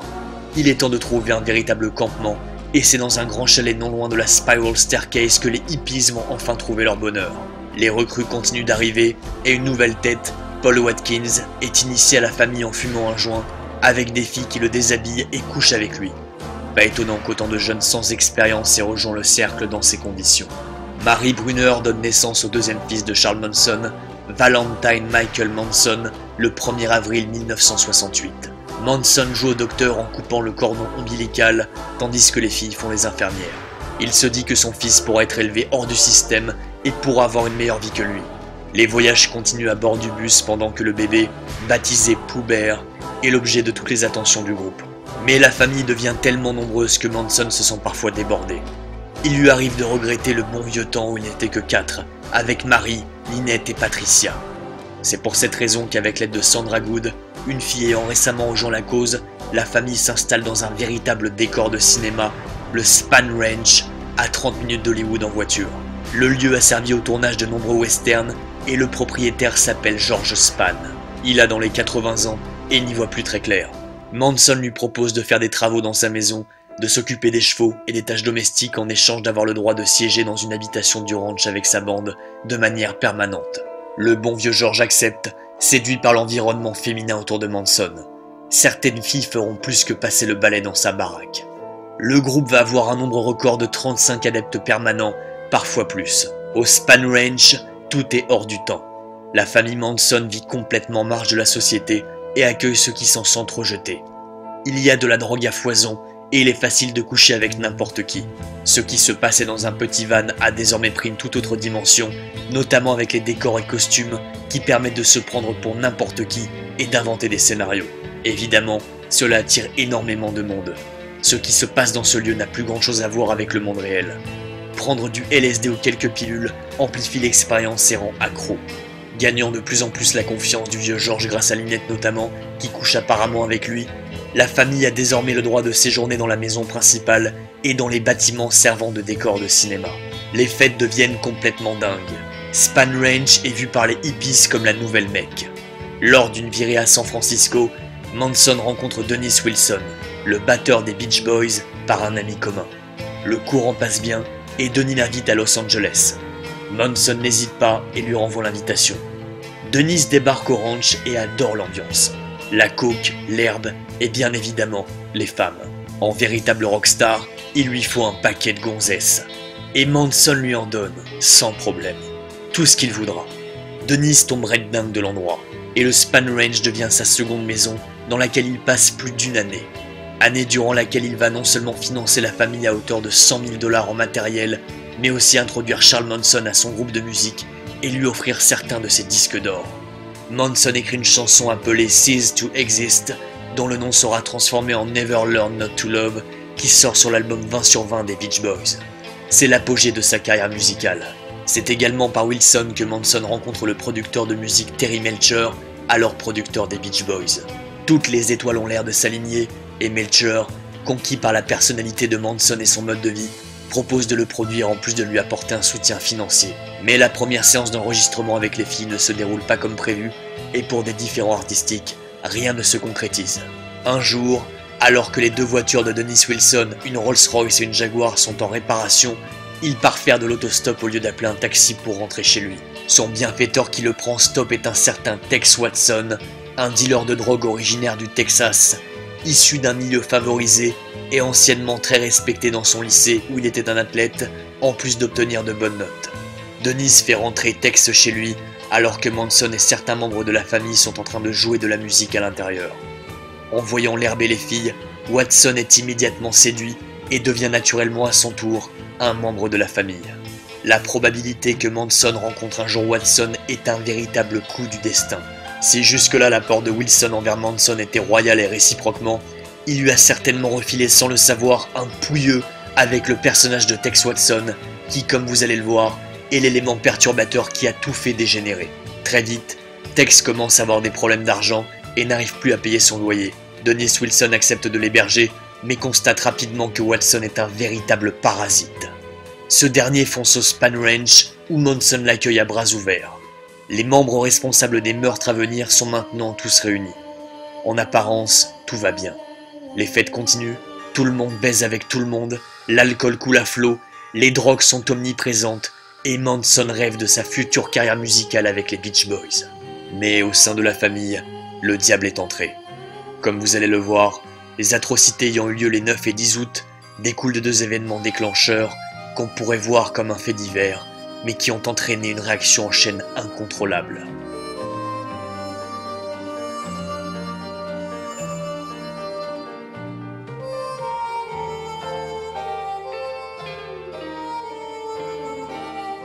Remember when we first went in, uh, one of the people said, who are you? And Tex said, I'm the devil and I'm here to do the devil's business. And I remember that in my conscience, it, it's so alive in me, even just recalling it. I remember that I had gone so far and there was no turning back. There, even if I had wanted to run, even if I had wanted to leave, I couldn't. It was like I was caught in something that I had no control over. I had absolutely no say-so as to what was happening there. I was just like a tool in the hands of the devil is the only way I can put it. We didn't know if he was Jesus Christ or the devil. We were very confused. We were very mixed up. Uh, we were sort of we were living uh, just for today. For tomorrow we die. We didn't know. Uh, we didn't know if there was even going to be a tomorrow. Do you ever think about Sharon Tate and the people that were killed that night? No, not that much.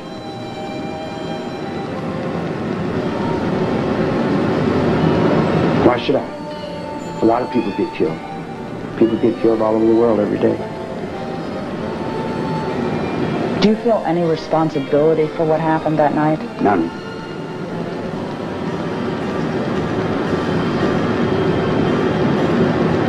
Feel no remorse for what happened that Remor- night? How am I going to feel remorse? What am I supposed to feel remorse about?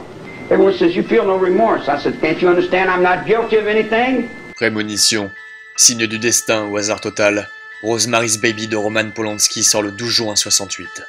Dans ce film, Rosemary, interprétée par Mia Farrow, tombe mystérieusement enceinte de ce qui pourrait bien être le fils du diable. En décembre 68, Manson essaie de prendre contact avec Dennis Wilson pour faire avancer sa carrière musicale. Il a composé de nouvelles chansons dont il est fier et compte bien les enregistrer en studio. Mais Wilson n'est pas en ville et un producteur dit à Manson qu'il serait préférable qu'il reste un peu dans le coin, car personne n'arrive à le joindre dans le désert. Son mode de vie très nomade et fêtard insouciant lui est reproché. Très vite, Dennis Wilson reprend contact avec Manson et vient l'écouter au ranch. La chanson Look at Your Game Girl, qui sera reprise plus tard par les Guns N' Roses sur l'album de reprise The Spaghetti Incident, impressionne Wilson. Terry Melcher est lui-même emballé et deux séances d'enregistrement sont organisées en studio. La première séance au studio de Westwood Village capote. Encore une fois pour des différents artistiques. Manson et les filles ont du mal à se soumettre au professionnalisme des producteurs. Wilson convainc Manson de les écouter. Lors de la deuxième séance d'enregistrement qui se déroule chez Brian Wilson, le frère de Denis, ils arrivent enfin à enregistrer une dizaine de titres. Seulement, l'argent ne tombe pas automatiquement. Encore faut-il que les chansons soient commercialisées. Malgré les aides financières de Melcher et Wilson, la famille Manson est dans le rouge et lutte entre les loyers à payer et tous les frais pour nourrir l'ensemble de la troupe. Manson cède à ses vieux démons et intègre plusieurs cambrioleurs qu'il a connus en tôle au sein de sa famille. Il les utilise avant tout pour gérer un business de désossement de voitures volées, vendre de la drogue et autres délits. Constatant que la perception des membres de sa communauté change à son égard à cause de tout cet argent sale, il essaie de se rassurer en se disant que toute cette merde n'est que temporaire. À la sortie du disque, il touchera enfin le pactole et ils pourront tous vivre honnêtement grâce à leur musique. En plus du garage clandestin, la famille transforme le décor qui servait de saloon en boîte de nuit avec danseuses à poils, herbes, pilules, etc.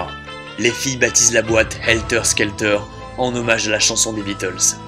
Cette boîte attire immédiatement des gens de San Fernando, Malibu et Hollywood.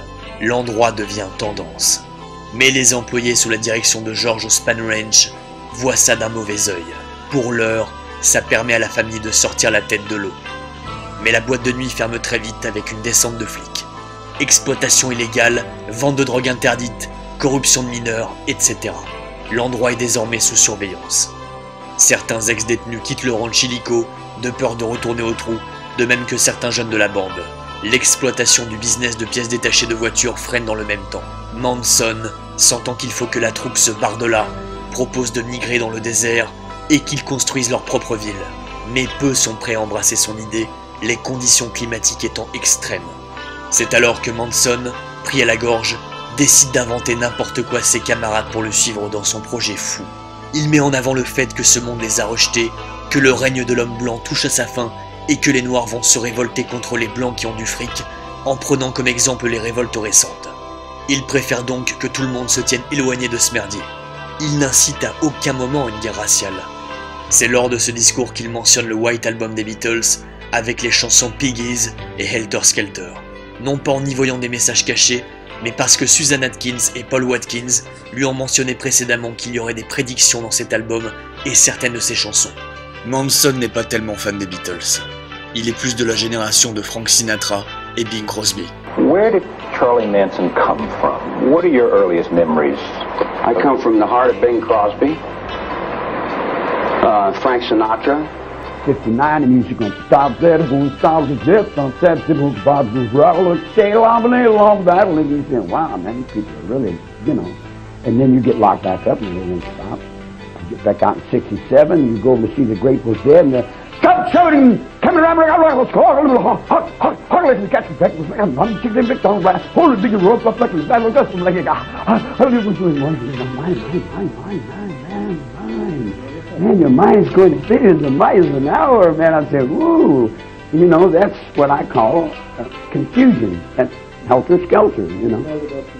It just means confusion. That's an English word. It's, uh, you know, I bet. And then when the Beatles come up with it, I mean, that was their song. They were playing to those. Il leur mentionne uniquement ses chansons car on les lui a mentionnées auparavant et qu'il se dit que ça convaincra plus la troupe de migrer dans le désert. Il poursuit son discours en disant qu'eux savent survivre avec le minimum syndical, contrairement aux personnes du monde civilisé, et qu'il leur faut juste un maximum de ressources en matériel et en réserve de nourriture pour subsister. Il conclut en disant que s'ils doivent se résoudre à voler pour obtenir ces ressources, alors ainsi soit-il. Hélas, son message est mal interprété, et surtout, autant de monde prêt à voler et à commettre des délits en même temps, ça multiplie les problèmes. Surtout quand la drogue s'invite à la fête. Un soir, Susan Atkins, qui tapine, en profite pour voler l'un de ses clients, rentre au ranch et tend 60 grammes d'herbe à Manson. Quelques minutes plus tard, deux Mexicains et un Blanc sortent d'une voiture. L'un des Mexicains demande de récupérer sa pute, Susan Atkins, ainsi que l'herbe qu'elle lui a volée. Manson lui dit de reprendre l'herbe, sauf qu'il n'y a que 60 grammes et non de livres, et ajoute que Suzanne peut le rejoindre si elle accepte. Mais elle refuse. S'ensuit un affrontement au couteau où Manson écorche plusieurs fois le Mexicain qui finit par se barrer avec ses acolytes. Le premier élément déclencheur des tueries Tate LaBianca arrive en juin 69. Tex Watson, qui a une liaison avec une fille à Hollywood, est empêtré dans un trafic de drogue avec un noir dénommé Bernard Crow, plus connu sous le pseudonyme Lotsa Popa, un colosse de 150 kilos. Il amène la voiture de son ami dans un garage pour la convertir en buggy des dunes. La facture s'élève à 500 dollars. Afin de réunir la somme, il va voir Bernard Croix à son domicile et obtient une avance de 2400 dollars en échange de revenir avec l'équivalent en herbe. Mais, au lieu de tenir parole, il décide de garder l'argent pour lui. Le téléphone sonne ranch. L'homme au bout du fil est Crow. Il est en train de séquestrer la petite amie de Tex Watson et ordonne qu'on lui ramène son argent ou l'herbe sur le champ, sans quoi il exécute la fille. À l'autre bout du fil, c'est Charles Manson qui répond. Tex Watson est parti se planquer avec le fric et Manson ne sait pas où il se trouve. Il donne rendez-vous à Crow chez lui. Manson fait appel à TJ, un membre de la famille, qui vient lui ramener un revolver Bluntline calibre 22. Dans les escaliers, avant d'arriver à l'appartement de Crow, Manson demande à TJ s'il sait se servir du flingue. Devant l'hésitation de ce dernier, il le planque sur lui. En arrivant dans le domicile de Bernard Crow, ils sont accueillis par deux autres personnes. Crow s'est absenté quelques minutes. La copine de Tex Watson est ligotée et bâillonnée sur un lit.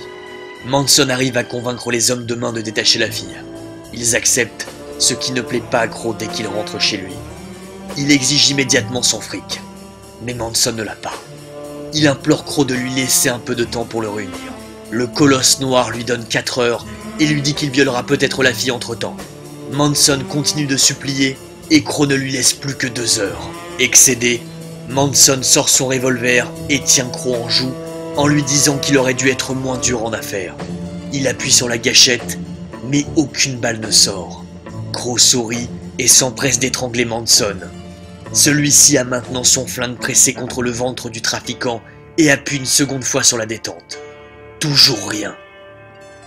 À la troisième tentative, le son de la balle sortant du calibre 22 est étouffé par la proximité de l'arme avec le ventre de la victime.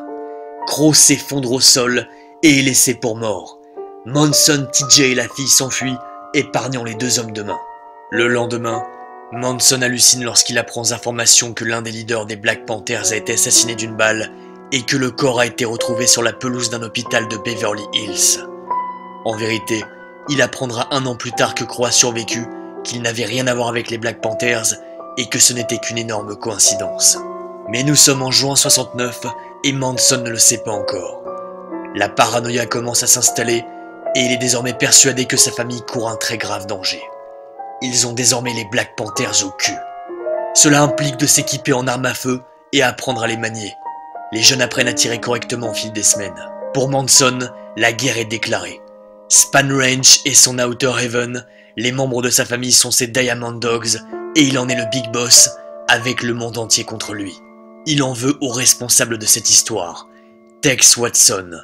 Ce dernier est en train de dormir confortablement avec une nouvelle venue, Madeline Cottage, 23 ans.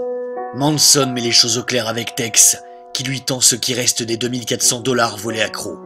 Je ne veux pas de ce fric, pauvre abruti. Tu nous as mis les Black Panthers à dos. J'ai dû descendre Crow, qui était l'un de leurs leaders à cause de tes conneries.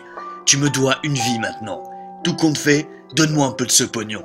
Manson s'adresse alors à tous ceux présents dans le salon du ranch pour leur dire que des noirs de l'organisation révolutionnaire Black Panther vont se révolter très prochainement contre eux et qu'ils vont devoir changer leur façon de vivre. Il est loin de se douter que plus tard, ces mots seront déformés et pris hors de leur contexte. Le repère se transforme alors en véritable camp militaire. Manson devient intransigeant sur les drogues et exige la diminution de leur utilisation. Il invite le groupe de motards Straight Satans à venir vivre au ranch pour protéger la famille en échange de pouvoir coucher avec les femmes de leur choix. L'ambiance en prend un sacré coup. Les recrues sont de plus en plus rares car Manson devient complètement paranoïaque et croit voir des infiltrés partout, surtout lorsqu'ils sont noirs. Il hésite constamment à tout plaquer et se barrer dans le désert comme il le voulait depuis longtemps. Mais sa fidélité à ceux qui lui ont fait confiance étant donnée prime sur le reste. Il faut trouver du pognon, d'urgence. Excédé, bouffé par la paranoïa, et plus que lassé d'attendre le paiement qui lui est dû pour les paroles de Never Learn Not to Love sur l'album des Beach Boys sorti le 10 février 69, Manson fonce voir Denis Wilson à son domicile et lui montre une balle de revolver.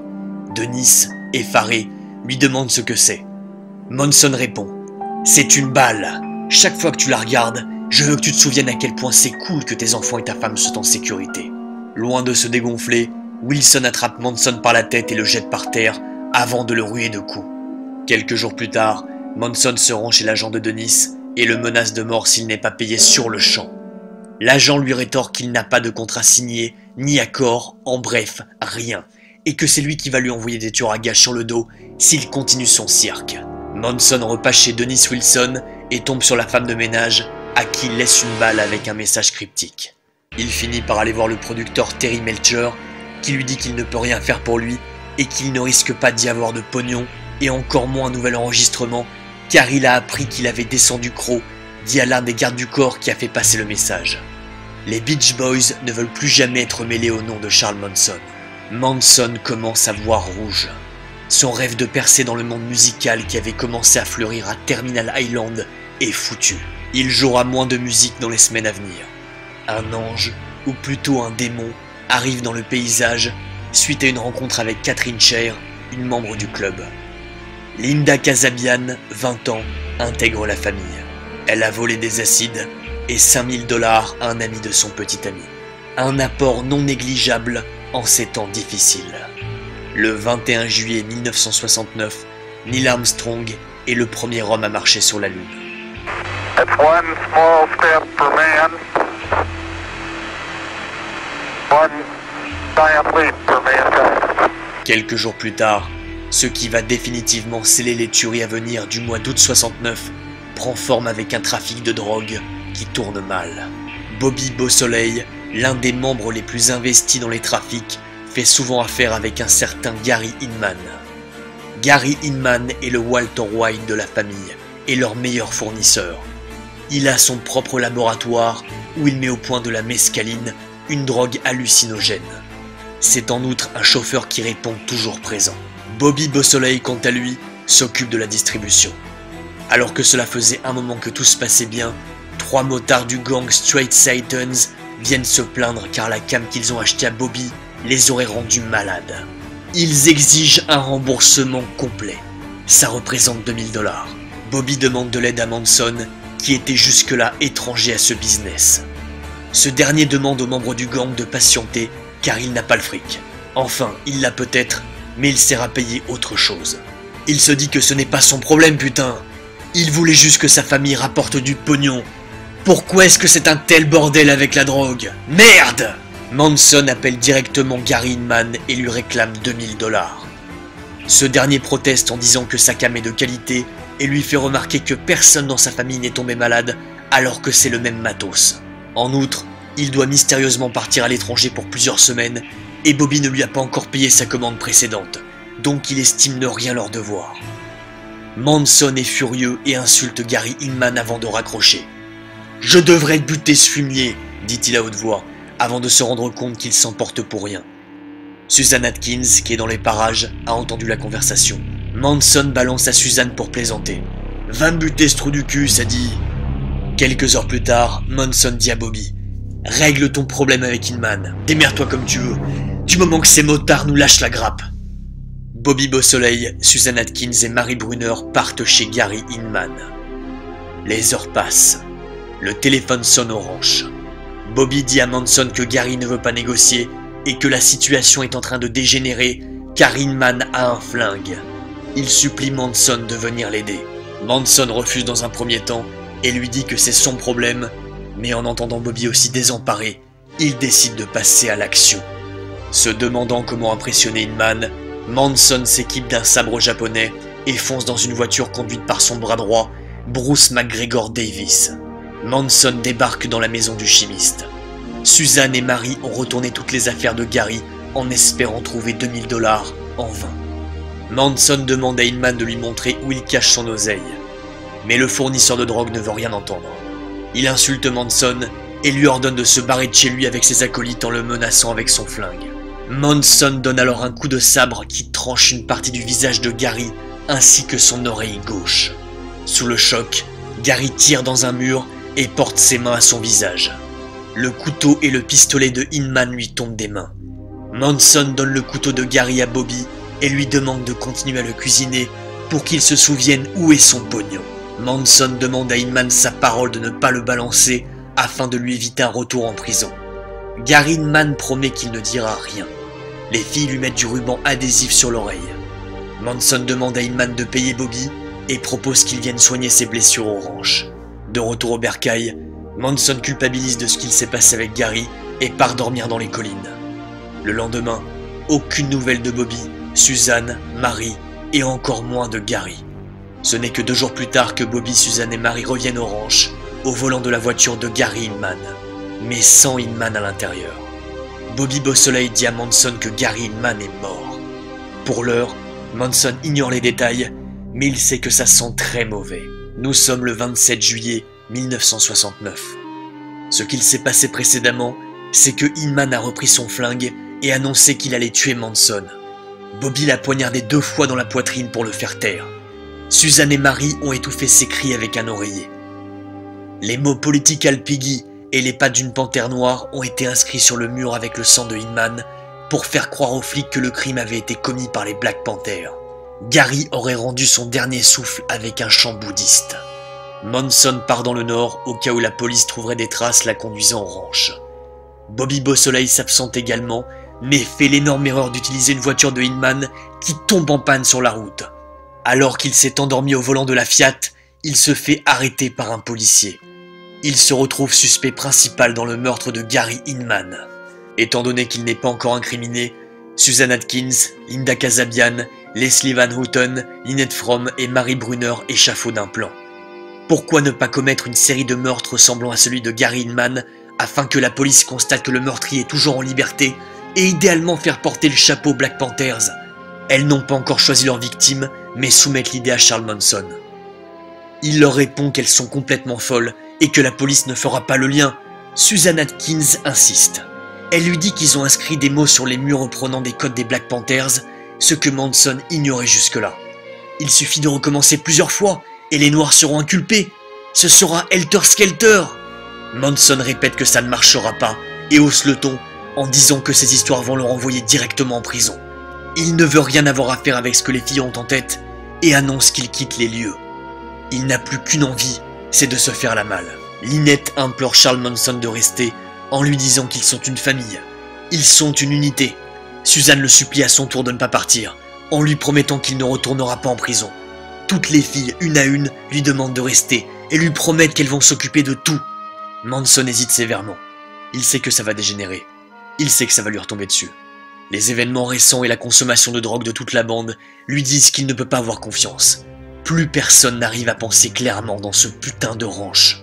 Et en plus, ce sont des bonnes femmes. Ça va merder quelque part, c'est obligé. Mais d'un autre côté, il les aime toutes, d'une manière ou d'une autre. Les premières fois lui reviennent en tête. Les premiers amours, les premières disputes, tous les souvenirs partagés. Il se rend compte qu'ils forment une famille unie et que leur frère Bobby doit être libéré au plus vite. Et plus que quiconque, il est dans la merde jusqu'au cou avec toutes ces histoires. Il a bien descendu un leader des Black Panthers lui-même. Il sait très bien qu'il n'est pas un enfant de cœur. Et il doit toujours payer le gang Straight Satans. Il espère que les événements à suivre vont rapporter assez pour le sortir de cette impasse financière.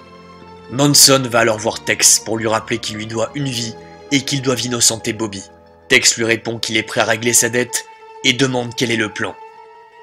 Je n'ai pas de plan, mais les filles en ont un. Mais si elles y vont seules, ça va merder. Il faut que tu ailles avec elles, Tex. Surveille-les et conseille-les. Tu connais des baraques de riches. Faites comme chez Gary. La Ford est prête. Tex Watson, Susan Atkins, Patricia Krenwinkel et Linda Casabian montent dans la voiture. La théorie du procureur Vincent Bugliosi est la suivante. Étant donné que Manson n'a jamais été payé en cash pour sa prestation sur l'album des Beach Boys, il pourrait avoir souhaité que Terry Melcher soit assassiné en cette nuit, du 8 au 9 août 69, à la place de Sharon Tate, Abigail Folger, Wojtek Frykowski, Jay Sebring et Stephen Parent. Mais ce que Bugliosi omet dans son analyse biaisée, c'est que Tex Watson était plus familier avec l'endroit, s'étant rendu chez Melcher dans le cadre d'une fête privée. Il connaissait donc bien mieux les lieux que Manson, et cette information, elle, est bien plus facilement vérifiable.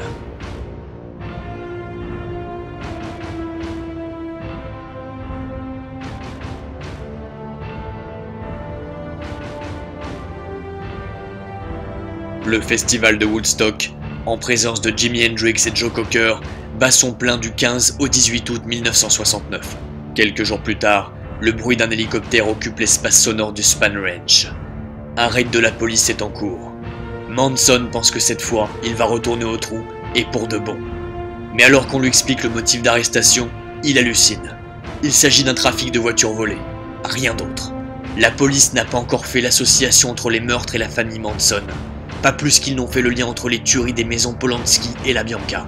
La bande est libérée sous deux jours pour vice de procédure. Le mandat d'arrestation n'était pas valide. La troupe retourne tranquillement au ranch. Mais très peu de temps après, la police revient arrêter Manson. Le chef d'inculpation n'a toujours rien à voir avec les meurtres. Il s'agit seulement de possession de drogue et d'outrage public à la pudeur, l'une des filles ayant les seins nus. Alors qu'il est en cellule, Manson est convaincu qu'il y a une balance au sein de leur organisation. Il trouve rapidement le responsable. C'est Donald Shee, plus connu sous le pseudonyme de Shorty, un cascadeur hollywoodien. Il a toujours rêvé de percer, sans succès. Shee a certainement servi d'inspiration au personnage de Cliff Booth, interprété par Brad Pitt, dans le film de Tarantino. Shorty, qui a de très bonnes relations avec le propriétaire George, voulait exclure le groupe du ranch depuis un bon moment. Aussitôt libéré, Monson indique à plusieurs membres de son groupe que le mouchard n'est autre que Donald Shee. L'information ne tombe pas dans les oreilles d'un sourd. Steve Grogan, un jeune de la famille âgé de 18 ans, s'occupe personnellement de Shorty en l'assassinant sauvagement le 26 août 69. Le corps ne sera retrouvé que des années plus tard. Le plus étonnant est qu'en 1985, Steve Grogan a été libéré de prison après avoir dessiné une carte menant à l'emplacement du corps de Donald Shee. Il est toujours en vie à l'heure actuelle et erre tranquillement parmi nous, alors que c'est le meurtrier principal dans cette affaire. En 1971, le juge aurait notamment déclaré qu'il était trop con et trop drogué pour avoir réellement voulu tuer Shorty. Charles Manson fut reconnu comme le cerveau de l'opération et de fait, le véritable meurtrier. On peut dire que les Américains ont le sens de la justice. Ou pas. Revenons à l'année 69. Le Span Ranch n'est plus un lieu sûr. C'est donc tout naturellement que la famille s'exile à Barker Ranch, l'un de leurs autres repères dans la vallée de la mort. Plus d'un mois s'écoule. Le 12 octobre 69, la police arrête Manson et 27 membres de sa famille. Ils ont enfin fait le lien constatant les similarités entre le meurtre de Hinman et ceux des maisons Polanski et La Bianca. Ils obtiennent rapidement des aveux grâce à Kitty Lutzinger, enceinte de Bobby Beausoleil, et Stephanie Schramm, la dernière conquête de Manson. Le 18 novembre 69, le procureur Vincent Bugliosi est chargé d'instruire le dossier Tate LaBianca. En échange de son immunité, qui sera par la suite annulée, Susan Atkins balance sa version des événements en s'arrangeant avec ce que le procureur veut entendre pour inculper Manson. Elle vend son histoire au journal Los Angeles Times. C'est dans ces lignes que Manson apparaît pour la première fois comme un gourou tout-puissant, à la fois Jésus et Satan, qui veut déclencher une guerre raciale contre les Noirs, Helter Skelter, et qui a tout ordonné et orchestré de A à Z. Les médias ayant enfin trouvé leur bouc émissaire s'en donnent à cœur joie en reprenant l'article dans le monde entier.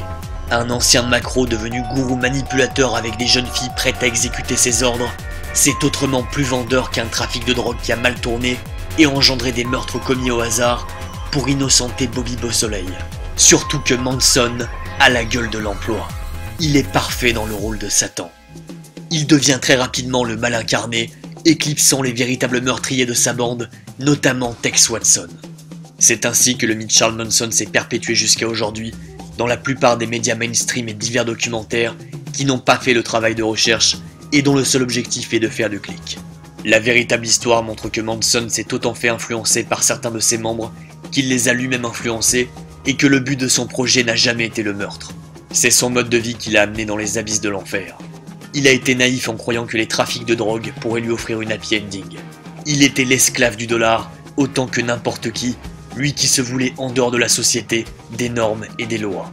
Il fallait toujours plus de fric pour que le train de vie qui était le sien et celui de sa famille puisse continuer. Loin d'être un ange, il fut, qu'il le veuille ou non, co-responsable de tous les meurtres ayant eu lieu entre juin et août 69. Mais ce n'était ni le cerveau, ni le responsable principal. Les couronnes du roi et de la reine reviennent respectivement à Tex Watson et Susan Atkins, avec des mentions spéciales à Bobby Beausoleil et Steve Grogan. Manson n'était pas un tueur en série à proprement parler, mais plutôt un tueur par procuration, par correspondance, parce qu'il s'était laissé convaincre qu'il n'y avait aucune autre alternative à ce moment précis. En outre, Manson n'avait ni les envies ni les pulsions qui sont propres aux véritables serial killers. C'était un hors-la-loi avant tout, un hors-la-loi d'un autre temps, qui était dans un seul objectif de survie et qui se considérait en guerre avec tous ceux qui se mettaient en travers de son chemin. Le dépeindre comme le mal incarné et comme l'un des tueurs en série les plus redoutables de tous les temps, s'est donné dans le sensationnalisme pour vendre sa camelote. Il était en vérité beaucoup plus proche d'un Al Capone que d'un Ted Bundy. C'était un gangster avant tout. La comparaison avec Hitler, qui ne s'est pas non plus sali les mains directement, est également erronée, car Manson n'avait pas de projet politique, quoi qu'on en dise. C'est une histoire de fric, mais surtout une histoire de drogue. Si Manson avait été plein aux as, et si sa carrière musicale avait décollé grâce aux Beach Boys, il n'en aurait pas moins été rattrapé tôt ou tard par les trafics de drogue conduits par certains de ses membres au sein du Span Range. Les meurtres auraient probablement pris une autre forme, mais il y aurait eu des cadavres sur le chemin. L'interminable procès de la famille Manson, qui dure 10 mois, s'ouvre le 15 juin 1970 avec Charles Manson, Susan Atkins, Patricia Krenwinkel et Leslie Van Houten. Très vite, Manson se taille un X sur le front, signifiant qu'il est exclu de la société. Les filles inscrivent également un X sur leur front. L'ironie de l'histoire est que Tex Watson ne se trouve pas à ce procès. Le 2 octobre 69, avant le raid de la police au Barker Range, il était tranquillement retourné au Texas, son état natal. Il est arrêté le 30 novembre 69 et jugé séparément des autres. Le 21 octobre 71, il est condamné à mort en étant reconnu coupable de sept meurtres. Sharon Tate, Abigail Folger, Wojtek Frykowski, Stephen Parent, Jay Sebring, Leno LaBianca et Rosemary LaBianca. Il se retrouve dans le couloir de la mort le 17 novembre 71, mais sa peine est changée en emprisonnement à perpétuité lorsque la Cour suprême de Californie abolit la peine de mort en 72. Alors qu'on reconnaît bel et bien qu'il est l'auteur principal des sept meurtres, on ne parle quasiment jamais de lui. Vous connaissez tous Charles Manson de nom, mais Tex Watson, pas tellement. Du côté du procès Manson, le 25 janvier 71, Susan Atkins admet être responsable de l'idée de copier le meurtre de Gary Hinman avec les assassinats Tate LaBianca. Patricia Krenwinkel et Leslie Van Houten admettent à leur tour en essayant d'inclure Linda Casabian comme co-responsable. Mais ces aveux ne sont pas pris en compte. Le jury refusant de croire à ce scénario reconnaît Charles Monson, Susan Atkins, Patricia Krenwinkel et Leslie Van Houten comme meurtriers au premier degré de la tuerie Tate La Bianca. En mars 71, Monson porte désormais une croix gammée qu'il a taillée sur son front et s'est le crâne. La croix gammée symbolise le fait que les médias l'ont dépeint comme Satan, comme le symbole du mal suprême. Ils décident de jouer leur jeu et de les provoquer. S'ils veulent le voir comme le diable, alors qu'on n'imprime pas grand-chose sur Tex Watson, ainsi soit-il. Why do you wear the sign of the American Nazi Party? Uh, that's my Nazi party. That's me. What does it mean? It means I've been locked up in here since 1943. That I'm standing behind the judges in Nuremberg. Le jury donne son verdict le 29 mars. La peine de mort pour les quatre acolytes est requise. Le 19 avril 71, Charles Holder applique la sentence. Mais elle est révoquée le 18 février 72 lorsque la peine de mort est abolie en Californie et changée en emprisonnement à vie. Énième ironie de l'histoire, Charles Holder est un ancien pilote de chasse du temps de la Seconde Guerre mondiale et de la guerre en Corée où il a abattu plusieurs avions ennemis. Il a du sang sur les mains, mais les vainqueurs écrivant l'histoire, selon les événements et le contexte, tuer peut faire de vous un héros. C'est sans doute avec ces éléments en tête que Manson bondit sur Charles Holder, un crayon à la main, le 5 octobre 70. Pendant tout le procès, Manson n'a pas eu le droit de se défendre lui-même ou d'appeler des témoins à la barre. Il estimera plus tard qu'on ne lui a pas donné les droits dont chaque Américain bénéficie dans une salle d'audience de tribunal. Il est notamment effaré que l'accusation ne croit pas que Tex Watson ait pu tuer de son plein gré, sous prétexte qu'il est originaire d'un milieu confortable, contrairement à Manson. En août 70, alors que nous ne sommes qu'au début du procès, le président Richard Nixon dit que Manson est coupable, ce qui paraît dans la presse. Uh.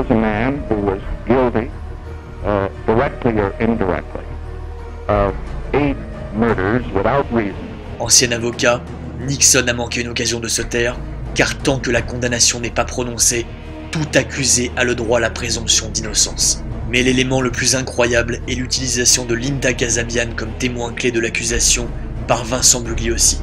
En échange de son immunité, elle a décrit les scènes de crime en s'innocentant, en décrivant Manson, Atkins, Krenwinkel et Van Houten comme les véritables auteurs des meurtres. Il est vrai que Linda n'est pas entrée dans la résidence des Polanski dans la nuit du 8 au 9 août et n'a donc pas participé au meurtre. Toutefois, elle est complice car elle surveillait la voiture et n'a à aucun moment tenté de s'enfuir ou d'avertir la police. Pire, elle s'est rendue de son plein gré avec la bande à la maison des Labianca dès le lendemain. Quoi qu'il en soit, elle fut innocentée et vit sa vie paisiblement en acceptant volontiers un petit chèque lorsqu'on lui demande d'apparaître dans un témoignage ou un documentaire télé. Susan Atkins meurt le 24 septembre 2009 à l'âge de 61 ans après avoir passé le restant de ses jours derrière les barreaux. Tex Watson, Leslie Van Houten et Patricia Krenwinkel sont toujours en prison.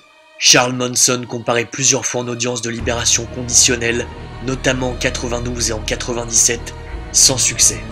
Il décède le 19 novembre 2017 d'une crise cardiaque à l'hôpital de Bakersfield, en Californie, où il était traité pour un cancer du côlon.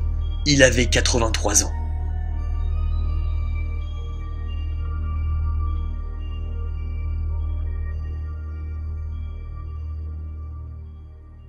This man was not guilty of murdering my daughter, okay? Um, of, of all the seven murders that I know of, he did not commit one of them, all right? I feel that he has taken the blame for all of them. And the ones that should be blamed for is Tex Watson. And I hope in no way that I've, that I've, in any way I've given the impression that I'm trying to blame anything on my parents or blame anything on drugs or blame anything on rock music or blame anything on Manson because I do take complete responsibility. I've been raised in the stomach of this beast, and I've been living and doing whatever I have to do. If I can live in peace, I'll run and live in peace. If I can uh, uh, get along with people, I'll get along. You know, I'll do my best to do everything I can. But when they mess with my music, or they fuck with my family, or they bother my dog, or steal my cows, or mistreat my horses, I'll do whatever I feel is necessary to do whatever I feel is necessary.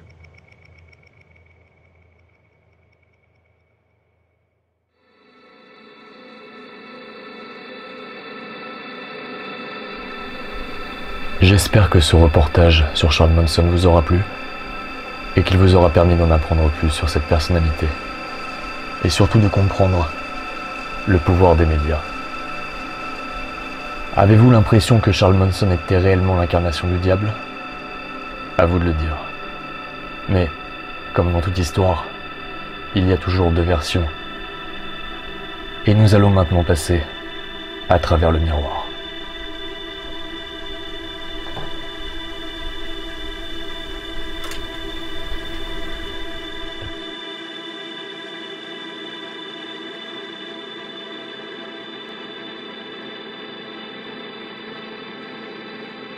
Charles Monson naît d'une mère non mariée de 16 ans, appelée Kathleen Maddox, au Cincinnati General Hospital dans l'Ohio. Pendant plusieurs semaines, celui qui allait devenir Charles Monson est resté Charles Mills Maddox, jusqu'à ce que sa mère épouse un homme nommé William Monson, qui donna son nom au jeune enfant. Monson n'a probablement jamais connu son père biologique. Certaines rumeurs prétendent que ce dernier avait des origines afro-américaines, ce qui aurait pu, selon certains, motiver la haine et les théories racialistes de Monson. Cependant, ces rumeurs sont totalement infondées, car aucun document ne les corrobore vraiment, et Monson lui-même les dénigre, ce qui en fait une affirmation peu probable. La seule source qui mentionne cette information est une ligne dans le dossier de Monson de 1951, lors du procès qu'il amena à la National Training School for Boys. Il est écrit Père inconnu. Il est prétendument un cuisinier de couleur, colored en anglais, du nom de Scott, avec qui la mère du garçon a eu une relation proche. La mère de Monson était une alcoolique, Selon l'un des membres de sa famille, elle a vendu le petit Charles contre une bouteille de bière à une serveuse qui n'avait pas d'enfant. C'est son oncle qui a dû venir le récupérer. Elle a été condamnée en 1939 pour avoir braqué une station-service et Monson a été placé dans la maison de son oncle en Virginie. En 1942, quand sa mère est libérée, il la retrouve et vit avec elle dans des petits hôtels. Il déclarera plus tard que sa mère l'enlaçant à la sortie de prison était son seul souvenir agréable d'enfance. En 1947, elle veut se débarrasser de lui car il est devenu un jeune homme étrange. Elle essaye de le placer dans une famille adoptive, ce qui échoue. Elle ne supportait pas ses yeux de fou. Le jeune Monson est donc placé dans la Gibbold School for Boys dans l'Indiana. Et après dix mois dans ce lieu, il s'envole vers chez sa mère, qui le rejette encore. Elle ne veut définitivement pas de lui. L'enfance de Monson est absolument chaotique. Entre les agressions sexuelles qu'il subit et qu'il commet, sur un garçon en prison, entre la délinquance qu'il mène pour survivre, entre sa violence et le milieu carcéral dans lequel il grandit, son expérience de proxénète, etc., tout présageait une certaine propension à l'agressivité et à la violence extrême. Toutefois, Monson est un jeune garçon à part. Il a une fascination pour les lames, les armes à feu, mais aussi la musique et la danse. Ainsi, lorsqu'il est envoyé à la Washington DC's National Training School for Boys, les docteurs lui diagnostiquent un QI de 109, qui sera plus tard rediagnostiqué à 121. Pourtant, Monson est illettré à l'époque, et malgré ses tests encourageants, un docteur l'a qualifié de grandement, agressivement antisocial. Nul doute que Monson est très intelligent et son QI en atteste malgré son illettrisme de l'époque. Place maintenant à l'analyse psychosociologique. Charles Monson est un homme très intelligent qui maîtrise l'art de la dissimulation de manière très efficace. Tout ce qu'il dit est calculé à l'avance et, de facto, il est difficile de cerner sa psychologie en se fondant uniquement sur ses déclarations. Ainsi, il sera ici question dans un premier temps de sa psychologie, en se fondant sur les rapports de certains psychiatres qui ont pu l'analyser et l'interroger, sur les événements marquants qui ont structuré sa psychologie durant son enfance, et en tentant d'expliquer ses motivations profondes. Dans un second temps, il faudra aborder la question de la manipulation qu'a exercé Manson sur sa secte la Monson Family.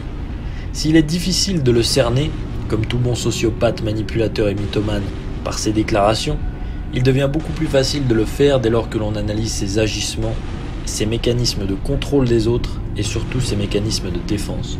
Il peut mentir, jouer sur les mots, faire le fou, mais il ne peut pas dissimuler ses motivations profondes dans les agissements de sa vie, puisque tout ce qu'il a fait était le fruit d'une volonté qui lui était propre. Tout cela a vocation à bien cerner ce qu'est et qui est Charles Manson, un sociopathe d'une rare gravité. Psychologie. L'alcoolisme très prononcé de Kathleen Maddox fait qu'elle préférait satisfaire sa dépendance plutôt que son rôle de mère. L'attention distribuée à son fils était donc quasi inexistante. Elle a même tenté de le vendre contre de l'alcool. À 4 ans, en pleine phase de développement infantile, Monson se retrouve seul quand sa mère s'en va en prison et se retrouve chez son oncle et sa tante en Virginie. Trimballé comme une marchandise durant son enfance entre les centres de détention juvénile, entre sa famille, les hôtels où il allait avec sa mère quand elle est sortie de prison, le manque de stabilité de la vie du jeune Charles et le milieu violent dans lequel il grandit lui ont très tôt donné une vision pragmatique du monde, où seul l'intérêt compte et où la naïveté infantile n'a plus du tout sa place. Les enfants qui perdent un parent jeune deviennent aussitôt matures, puisqu'ils perdent les garants de leur innocence. Monson ne fait pas exception lorsque sa mère disparaît en prison à ses 4 ans et où il doit se passer d'elle pendant plusieurs années. C'est pourquoi il développe un attrait très jeune pour les armes en tout genre, moyen d'obtention de ce qu'il désire le plus efficace, selon lui, car il a grandi dans un monde où l'agressivité et la violence payaient vite et cher. On peut ici voir les ébauches infantiles de Monson qui commence peu à peu à percevoir le monde comme une grande jungle où la survie est la première des nécessités, quoi que cela coûte. L'intérêt personnel doit être obtenu avec les moyens les plus efficaces. Ce complexe d'abandon et ce pragmatisme l'ont amené à la délinquance et donc à la détention juvénile. À 13 ans, après le braquage d'une épicerie, il est envoyé à l'Indiana Boys School où il est, selon ses propres propos, brutalisé sexuellement. Après deux tentatives ratées d'évasion, il parvient à s'échapper avec deux autres garçons en 1951. Il est aisé d'imaginer le trouble post-traumatique que peut causer une telle expérience. Plusieurs réactions sont possibles. Monson choisira d'assimiler la violence qu'il a subie durant toute son enfance, mais aussi durant son adolescence. Il reproduira ce qu'il a subi plus tard en violant un autre garçon co-détenu dans le Natural Bridge Honor Camp, un centre de détention juvénile de basse sécurité avec une lame de rasoir sous la gorge, ce qui lui vaudra un transfert dans un centre de plus haute sécurité. Il a tout juste 18 ans. Malgré ce viol assumé d'un autre détenu, il a toujours nié être homosexuel. Cela est tout à fait crédible, car Monson, ayant manqué de contrôle toute sa vie durant, a fini par devenir un être brutal, prêt à tout pour humilier et soumettre ceux qui s'opposaient à lui. La forme la plus absolue de soumission selon lui à cette époque devait être de violer un codétenu en lui mettant une lame de rasoir sous la gorge. Il a donc subi cette violence, l'a absorbée et a fini par l'appliquer lui-même. Concernant le narcissisme de Charles Manson, le sentiment d'abandon constant durant son enfance l'a rendu très narcissique. Le narcissisme est souvent causé par une mère abusivement admirative de son enfant, mais il peut aussi être causé par un mécanisme de défense. Un enfant ayant manqué d'attention, ou, dans le cas présent, un enfant littéralement abandonné et traité comme une chose dont on doit se débarrasser, peut développer une propension à vouloir être sans cesse au centre de toute chose, pour avoir ce qu'il n'a pas eu. Manson en est le parfait exemple et son hyper-narcissisme le démontre bien. Les personnes narcissiques, c'est-à-dire qui s'admirent énormément elles-mêmes, sont souvent charismatiques et exercent un grand charme sur qui les écoute. Cela en fait de grands leaders, et dans le cas de Manson, un commanditaire de meurtre au sein d'une secte à la doctrine très limitée. Le fait que Charles Manson n'ait tué personne de lui-même renvoie à ce sentiment narcissique. Pourquoi faire soi-même ce qu'on peut demander aux autres de faire?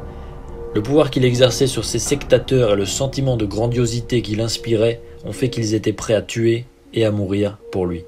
Ce narcissisme s'exprime notamment dans le fait qu'il déteste être comparé à qui que ce soit, prenant cela comme une humiliation. Lorsque la journaliste Penny Daniels, en 1989, lui a demandé ce qu'il pensait de Ted Bundy, il répondit que ce dernier était une merde, un fils à maman, quelqu'un qui essaye de prouver quelque chose à sa propre virilité, et ça n'a strictement rien à voir avec moi. Je ne traîne pas avec des merdes pareilles, je traîne avec des gens qui peuvent se regarder en face. Selon le DSM5 qui a récemment reconceptualisé les troubles de la personnalité antisociale et plus globalement la sociopathie, les troubles de la personnalité antisociale sont caractérisés par un ensemble de comportements répétés liés à un mépris et une violation des droits d'autrui chez un individu majeur, les troubles ayant débuté à l'adolescence, en dehors des conséquences d'une autre maladie mentale. Le trouble est caractérisé par au moins trois des comportements suivants. Premièrement, incapacité de se conformer aux normes sociales qui déterminent les comportements légaux, comme l'indique la répétition de comportements passibles d'arrestation. Deuxièmement, tendance à tromper par profit ou par plaisir, indiquée par des mensonges répétés, l'utilisation de pseudonymes ou d'escroqueries. Troisièmement, impulsivité ou incapacité à planifier à l'avance. Quatrièmement, irritabilité ou agressivité indiquée par la répétition de bagarres ou d'agressions. Cinquièmement, mépris inconsidéré pour sa sécurité ou celle d'autrui. Sixièmement, irresponsabilité persistante indiquée par l'incapacité répétée d'assumer un emploi stable ou d'honorer des obligations financières. Et septièmement, absence de remords indiquée par le fait d'être indifférent ou de se justifier après avoir blessé, maltraité ou volé autrui. Ces caractéristiques correspondent parfaitement à la personnalité de Charles Manson. Les gens qui souffrent de troubles du comportement social sont bien souvent les gens les plus amicaux et agréables qui soient.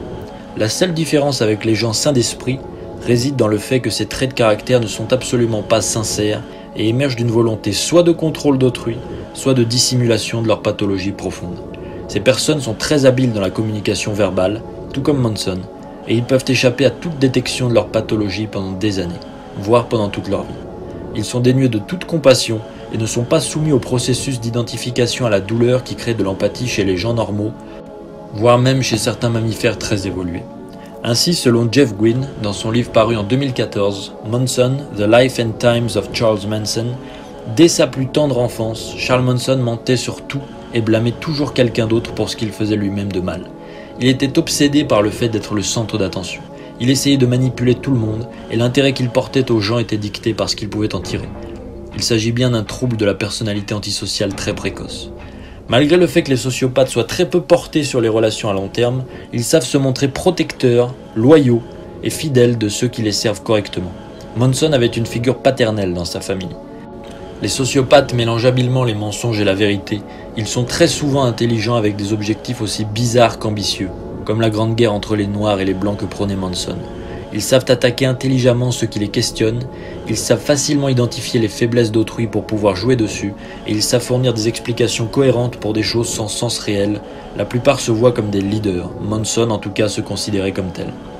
À plus basse intensité et peut-être moins dangereuse dans certains cas, beaucoup de leaders de notre histoire relèvent de personnalités sociopathiques. Manson, comme de nombreux sociopathes, se déresponsabilise sans cesse. Il a tout d'abord nié être responsable des crimes lors de son procès en disant qu'il n'avait jamais incité qui que ce soit à prendre un couteau. Il a l'intelligence dialectique de toujours retourner les questions. Lorsqu'on lui demande s'il est mauvais, il répond ⁇ Moi je suis mauvais Regardez ce que vous faites à l'environnement, à la planète. Comment pouvez-vous dire que moi je suis mauvais alors que vous tuez des millions de personnes sans jamais être jugé? Ce sont tous ces talents et ce côté fascinant qui lui ont permis de fédérer une petite secte de délinquants hippies qui finiront par devenir les tueurs que l'on connaît aujourd'hui. En définitive, Manson n'est pas proprement parlé un malade mental. C'est un sociopathe aigu. Mais son rapport au réel est dicté par un pragmatisme indéniable de rapport d'intérêt et de domination. Selon une ancienne analyste du FBI, Candice DeLong, qu'il a interviewé longuement, il a évidemment des problèmes psychologiques et psychiatriques, mais il n'est pas sérieusement mentalement atteint. Sa personnalité est donc complexe. Le moment est maintenant venu d'aborder la sociopathie et les rapports de domination. Le cas Manson n'est pas tellement un cas psychiatriquement intéressant, car comme dit précédemment, il ne correspond pas totalement à la définition d'un fou ou d'un malade mental. Ce qui fascine jusqu'aujourd'hui chez lui, c'est sa capacité à avoir contrôlé si subtilement des gens au point que ceux-ci sacrifient tout pour lui. Et à la différence d'autres gourous, Charles Manson a été interviewé pendant de nombreuses heures par de nombreux psychiatres, journalistes, enquêteurs, et la plupart de ses interviews et interrogatoires sont toujours regardés aujourd'hui avec grand intérêt. Sa capacité à contrôler certaines personnes amène donc à analyser ses méthodes. Pour ce faire, il faut parler d'un livre qu'il a marqué et qu'il a étudié durant son enfance. How to Win Friends and Influence People. Il s'agit d'un tutoriel sur la rhétorique facile et sur le fait de se faire facilement des amis ou alors d'amener les gens à penser comme nous. Il est étudié encore aujourd'hui comme petit guide de relationnel basique dans des écoles de management. Pour illustrer la méthodologie de contrôle qu'a utilisé Manson, une phrase ressort. Appeal to the nobler motives. En psychologie, la manipulation des personnes ou des masses est aisée si l'on arrive à toucher leurs fondements culturels. Ce qui a structuré les bases de leur sensibilité, de leur psychologie et de leur socle de valeurs.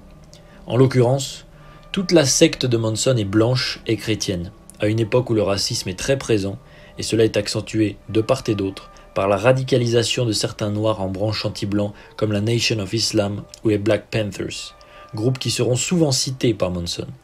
Il fallait donc les stimuler en se servant de la Bible et des fondements doctrinaux de l'époque hippie. Manson, garçon très intelligent à n'en pas douter, à partir de ce livre simpliste pour conseiller les cadres voulant s'améliorer dans leur communication, en a tiré un réel enseignement pour le contrôle des personnes qu'il fréquentait. Il a capté tous les sentiments de son époque et les a utilisés à ses fins. Talentueux en danse et en musique, charismatique, il se présente en libérateur. Nourriture gratuite, sexe gratuit, eau gratuite, musique gratuite. Il n'en fallait pas plus pour séduire des jeunes filles et des jeunes hommes fugueux, désabusés des années 60. Il est donc plus un habile manipulateur qu'un réel visionnaire. La question reste ouverte sur ses croyances en ce qu'il prônait. La Helter Skelter, la grande guerre entre les Noirs et les Blancs par exemple. Ainsi son admiration exacerbée pour les Beatles est plus due à leur capacité à mobiliser les foules de groupies fanatiques, de même qu'il admirait Adolf Hitler, qu'à leur talent musical. Son expérience de proxénète lui a permis d'améliorer son contrôle sur les gens, et plus spécifiquement les femmes. Et le voici devenu le gourou craint de sa secte constituée d'esclaves sexuels prêts à boire toutes ses paroles et à tuer et à mourir pour lui. Charles Manson exerçait ce qu'on peut appeler un contrôle absolu sur sa famille. Ce qu'il prêchait à l'époque n'était pas plus crédible que ce que d'autres gourous fous prêchaient à une époque où tous les fondements moraux avaient été ébranlés et où tout était fondé sur une débauche sexuelle faite de psychotropes et d'indépendance vis-à-vis de la morale traditionnelle. Mais il le disait avec un tel charisme, une telle confiance en lui, qu'il savait exactement comment toucher les points sensibles de ces jeunes adolescents troublés et dans le besoin, totalement soumis à une crise du sens qui les dépassait. À la famille biologique dont ils étaient déçus, Manson y substituait une famille authentique où, selon ses mots, chacun était accepté pour ce qu'il était, sans avoir besoin de changer. Autant de discours banals et creux pour séduire de jeunes adolescents sans réelle conscience du monde ni d'eux-mêmes. Comme dit précédemment, son expérience de proxénète l'a parachevé dans le contrôle de la psychologie de ses sectateurs. Les méthodes des proxénètes sont assez clairement définies. En effet, il faut alterner entre une affection profonde pour la personne que l'on veut contrôler et l'agressivité d'une certaine correction physique pour que le proxénète, ou en l'espèce le chef de la famille, soit à la fois un oppresseur et un libérateur. Le fait que le côté oppresseur soit craint et haï entraîne un amour profond pour le côté libérateur et tendre. Monson utilisait aussi de grandes quantités de drogue et il dirigeait des séances de sexe en groupe en s'assurant que les filles changent régulièrement de partenaire pour qu'elles ne soient attachées en définitive qu'à lui. Il isolait ses disciples dans une communauté recluse, loin de la société, pour s'assurer un contrôle constant sur la totalité de leur vie. La désobéissance était punie, et les manifestations d'individualité ou de pensée propre étaient sévèrement réprimandées par de longs discours ou alors des punitions diverses. Manson prenait la nécessité d'idées collectives et de l'amour au sein de sa famille. Ce sont des outils de contrôle efficaces, car tous se soumettaient à sa volonté et à sa vision de l'amour, à savoir donner tout son argent et coucher avec qui il demandait. Pat Krenwinkel, une des membres de la famille, déclarera plus tard qu'à cette époque, elles n'étaient toutes que des petits chatons perdus et mentalement partis.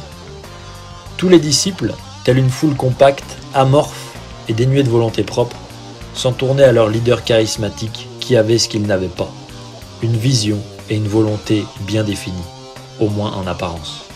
Manson avait capté la dialectique en vogue de son temps, la vision du monde libéré de toute contrainte, et en avait fait un outil de contrôle parfaitement calculé et calibré et efficace. En atteste sa compréhension profonde des sentiments humains.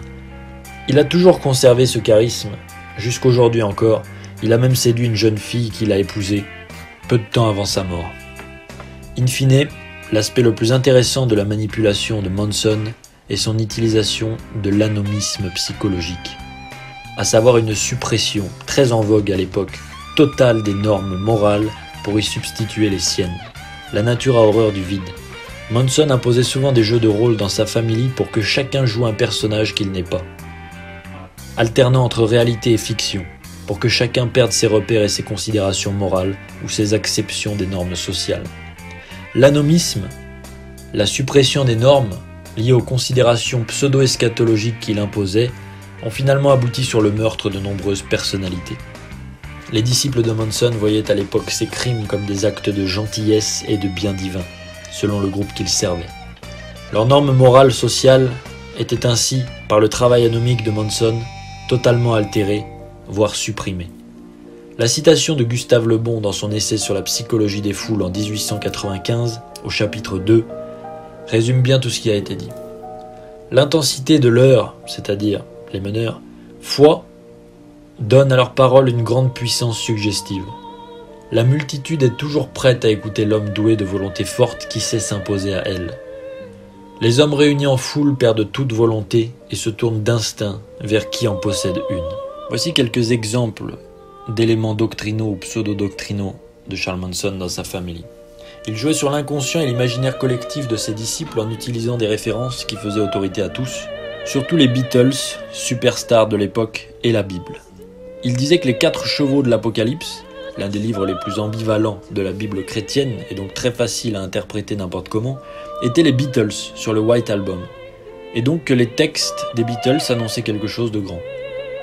La chanson Piggies des Beatles, selon lui, était à interpréter en tant que les Piggies étaient les membres de l'establishment.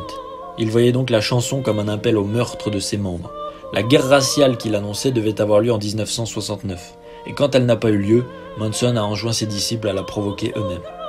La question reste finalement ouverte sur le fait de savoir si Manson croyait vraiment à tout ce qu'il disait, ou s'il a juste fomenté un grand mensonge pseudo-religieux comme outil de contrôle. La balance penche plutôt sur la thèse de la manipulation, étant donné qu'il avait annoncé une date pour sa Helter Skelter et qu'elle ne s'est pas produite, ce qui ne l'a pas empêché de maintenir qu'elle devait bien arriver et qu'il fallait donc la provoquer. En conclusion, ce travail démontre que la psychologie de Manson est une psychologie complexe, avec toujours des zones d'ombre, notamment sur sa croyance réelle en ce qu'il prêchait et son rapport au réel. Toutefois, il convient après ces démonstrations de constater une chose. Charles Manson est plus un manipulateur sociopathe avec des troubles aigus du comportement social qu'un réel malade mental, quand bien même sa folie est indéniable. Au-delà même des théories de Scott Bonn, célèbre criminologue qui a tenté de théoriser l'attrait qu'exerçaient les serial killers sur le public, la fascination qu'a exercé Manson sur la société américaine a un élément fondamentalement différent des autres, en ce qu'il n'a jamais tué personne de ses propres mains. Il n'a jamais été juridiquement déclaré irresponsable des faits qui lui sont reprochés. Et malgré le fait qu'il n'ait pas été condamné pour meurtre direct, sa personnalité de tueur ne fait aucun doute. Et l'appellation serial killer lui sied donc, malgré le fait qu'il n'ait point tué. C'est bien sa volonté qui s'est exprimée dans les meurtres atroces que sa secte a commis, et c'est pourquoi les juridictions américaines l'ont condamné. Ce qui fascine toujours les gens, jusqu'aujourd'hui à propos de Manson, est sa capacité à argumenter et à se déresponsabiliser sans cesse, fruit de sa sociopathie. Mais l'aspect le plus intéressant de sa vie est bien de comprendre comment il a manipulé des jeunes désabusés et perdus à ses fins personnelles de la plus ignoble des manières. Il avait capté les tendances et les faiblesses de son temps et il en a profité à sa guise. Espérons que cette analyse serve à comprendre certains mécanismes de manipulation pour aider les gens à ne pas se faire avoir, dans une ère où la manipulation de certains jeunes désabusés, comme dans les années 60 mais avec des principes tout à fait opposés, cause des choses terribles sous prétexte d'un retour à une pseudo-tradition.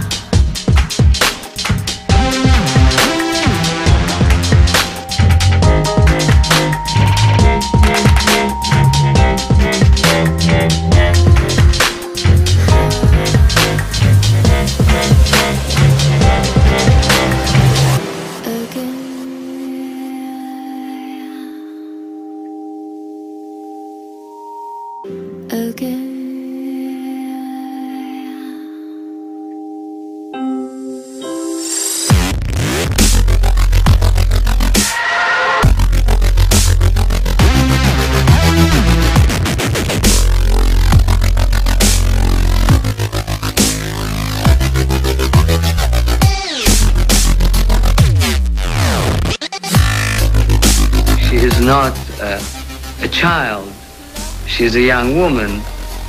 She had uh, and testified uh, to it previous uh, sexual experience. She wasn't unschooled in sexual matters. Uh, she was consenting. He always said it was consensual, but um, what else is he going to say? Nobody amongst the, uh, uh, the prison authority, the prisoners, the, the guards would believe that I would ever, there was a remote possibility of me coming back. But Judge Rittenband felt that Polanski belonged behind bars. I would not uh, say no for going to prison uh, as long as I know where I stand, as long as I don't become again some kind of mouse uh, with which some abominable cat begins uh, a sport.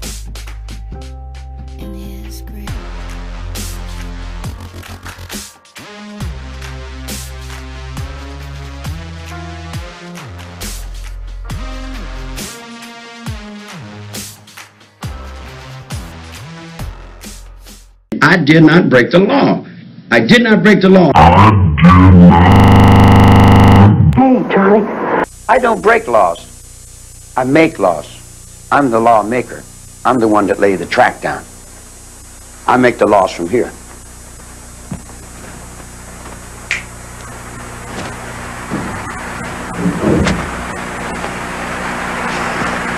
This is me. Nixon was only playing open. That's me.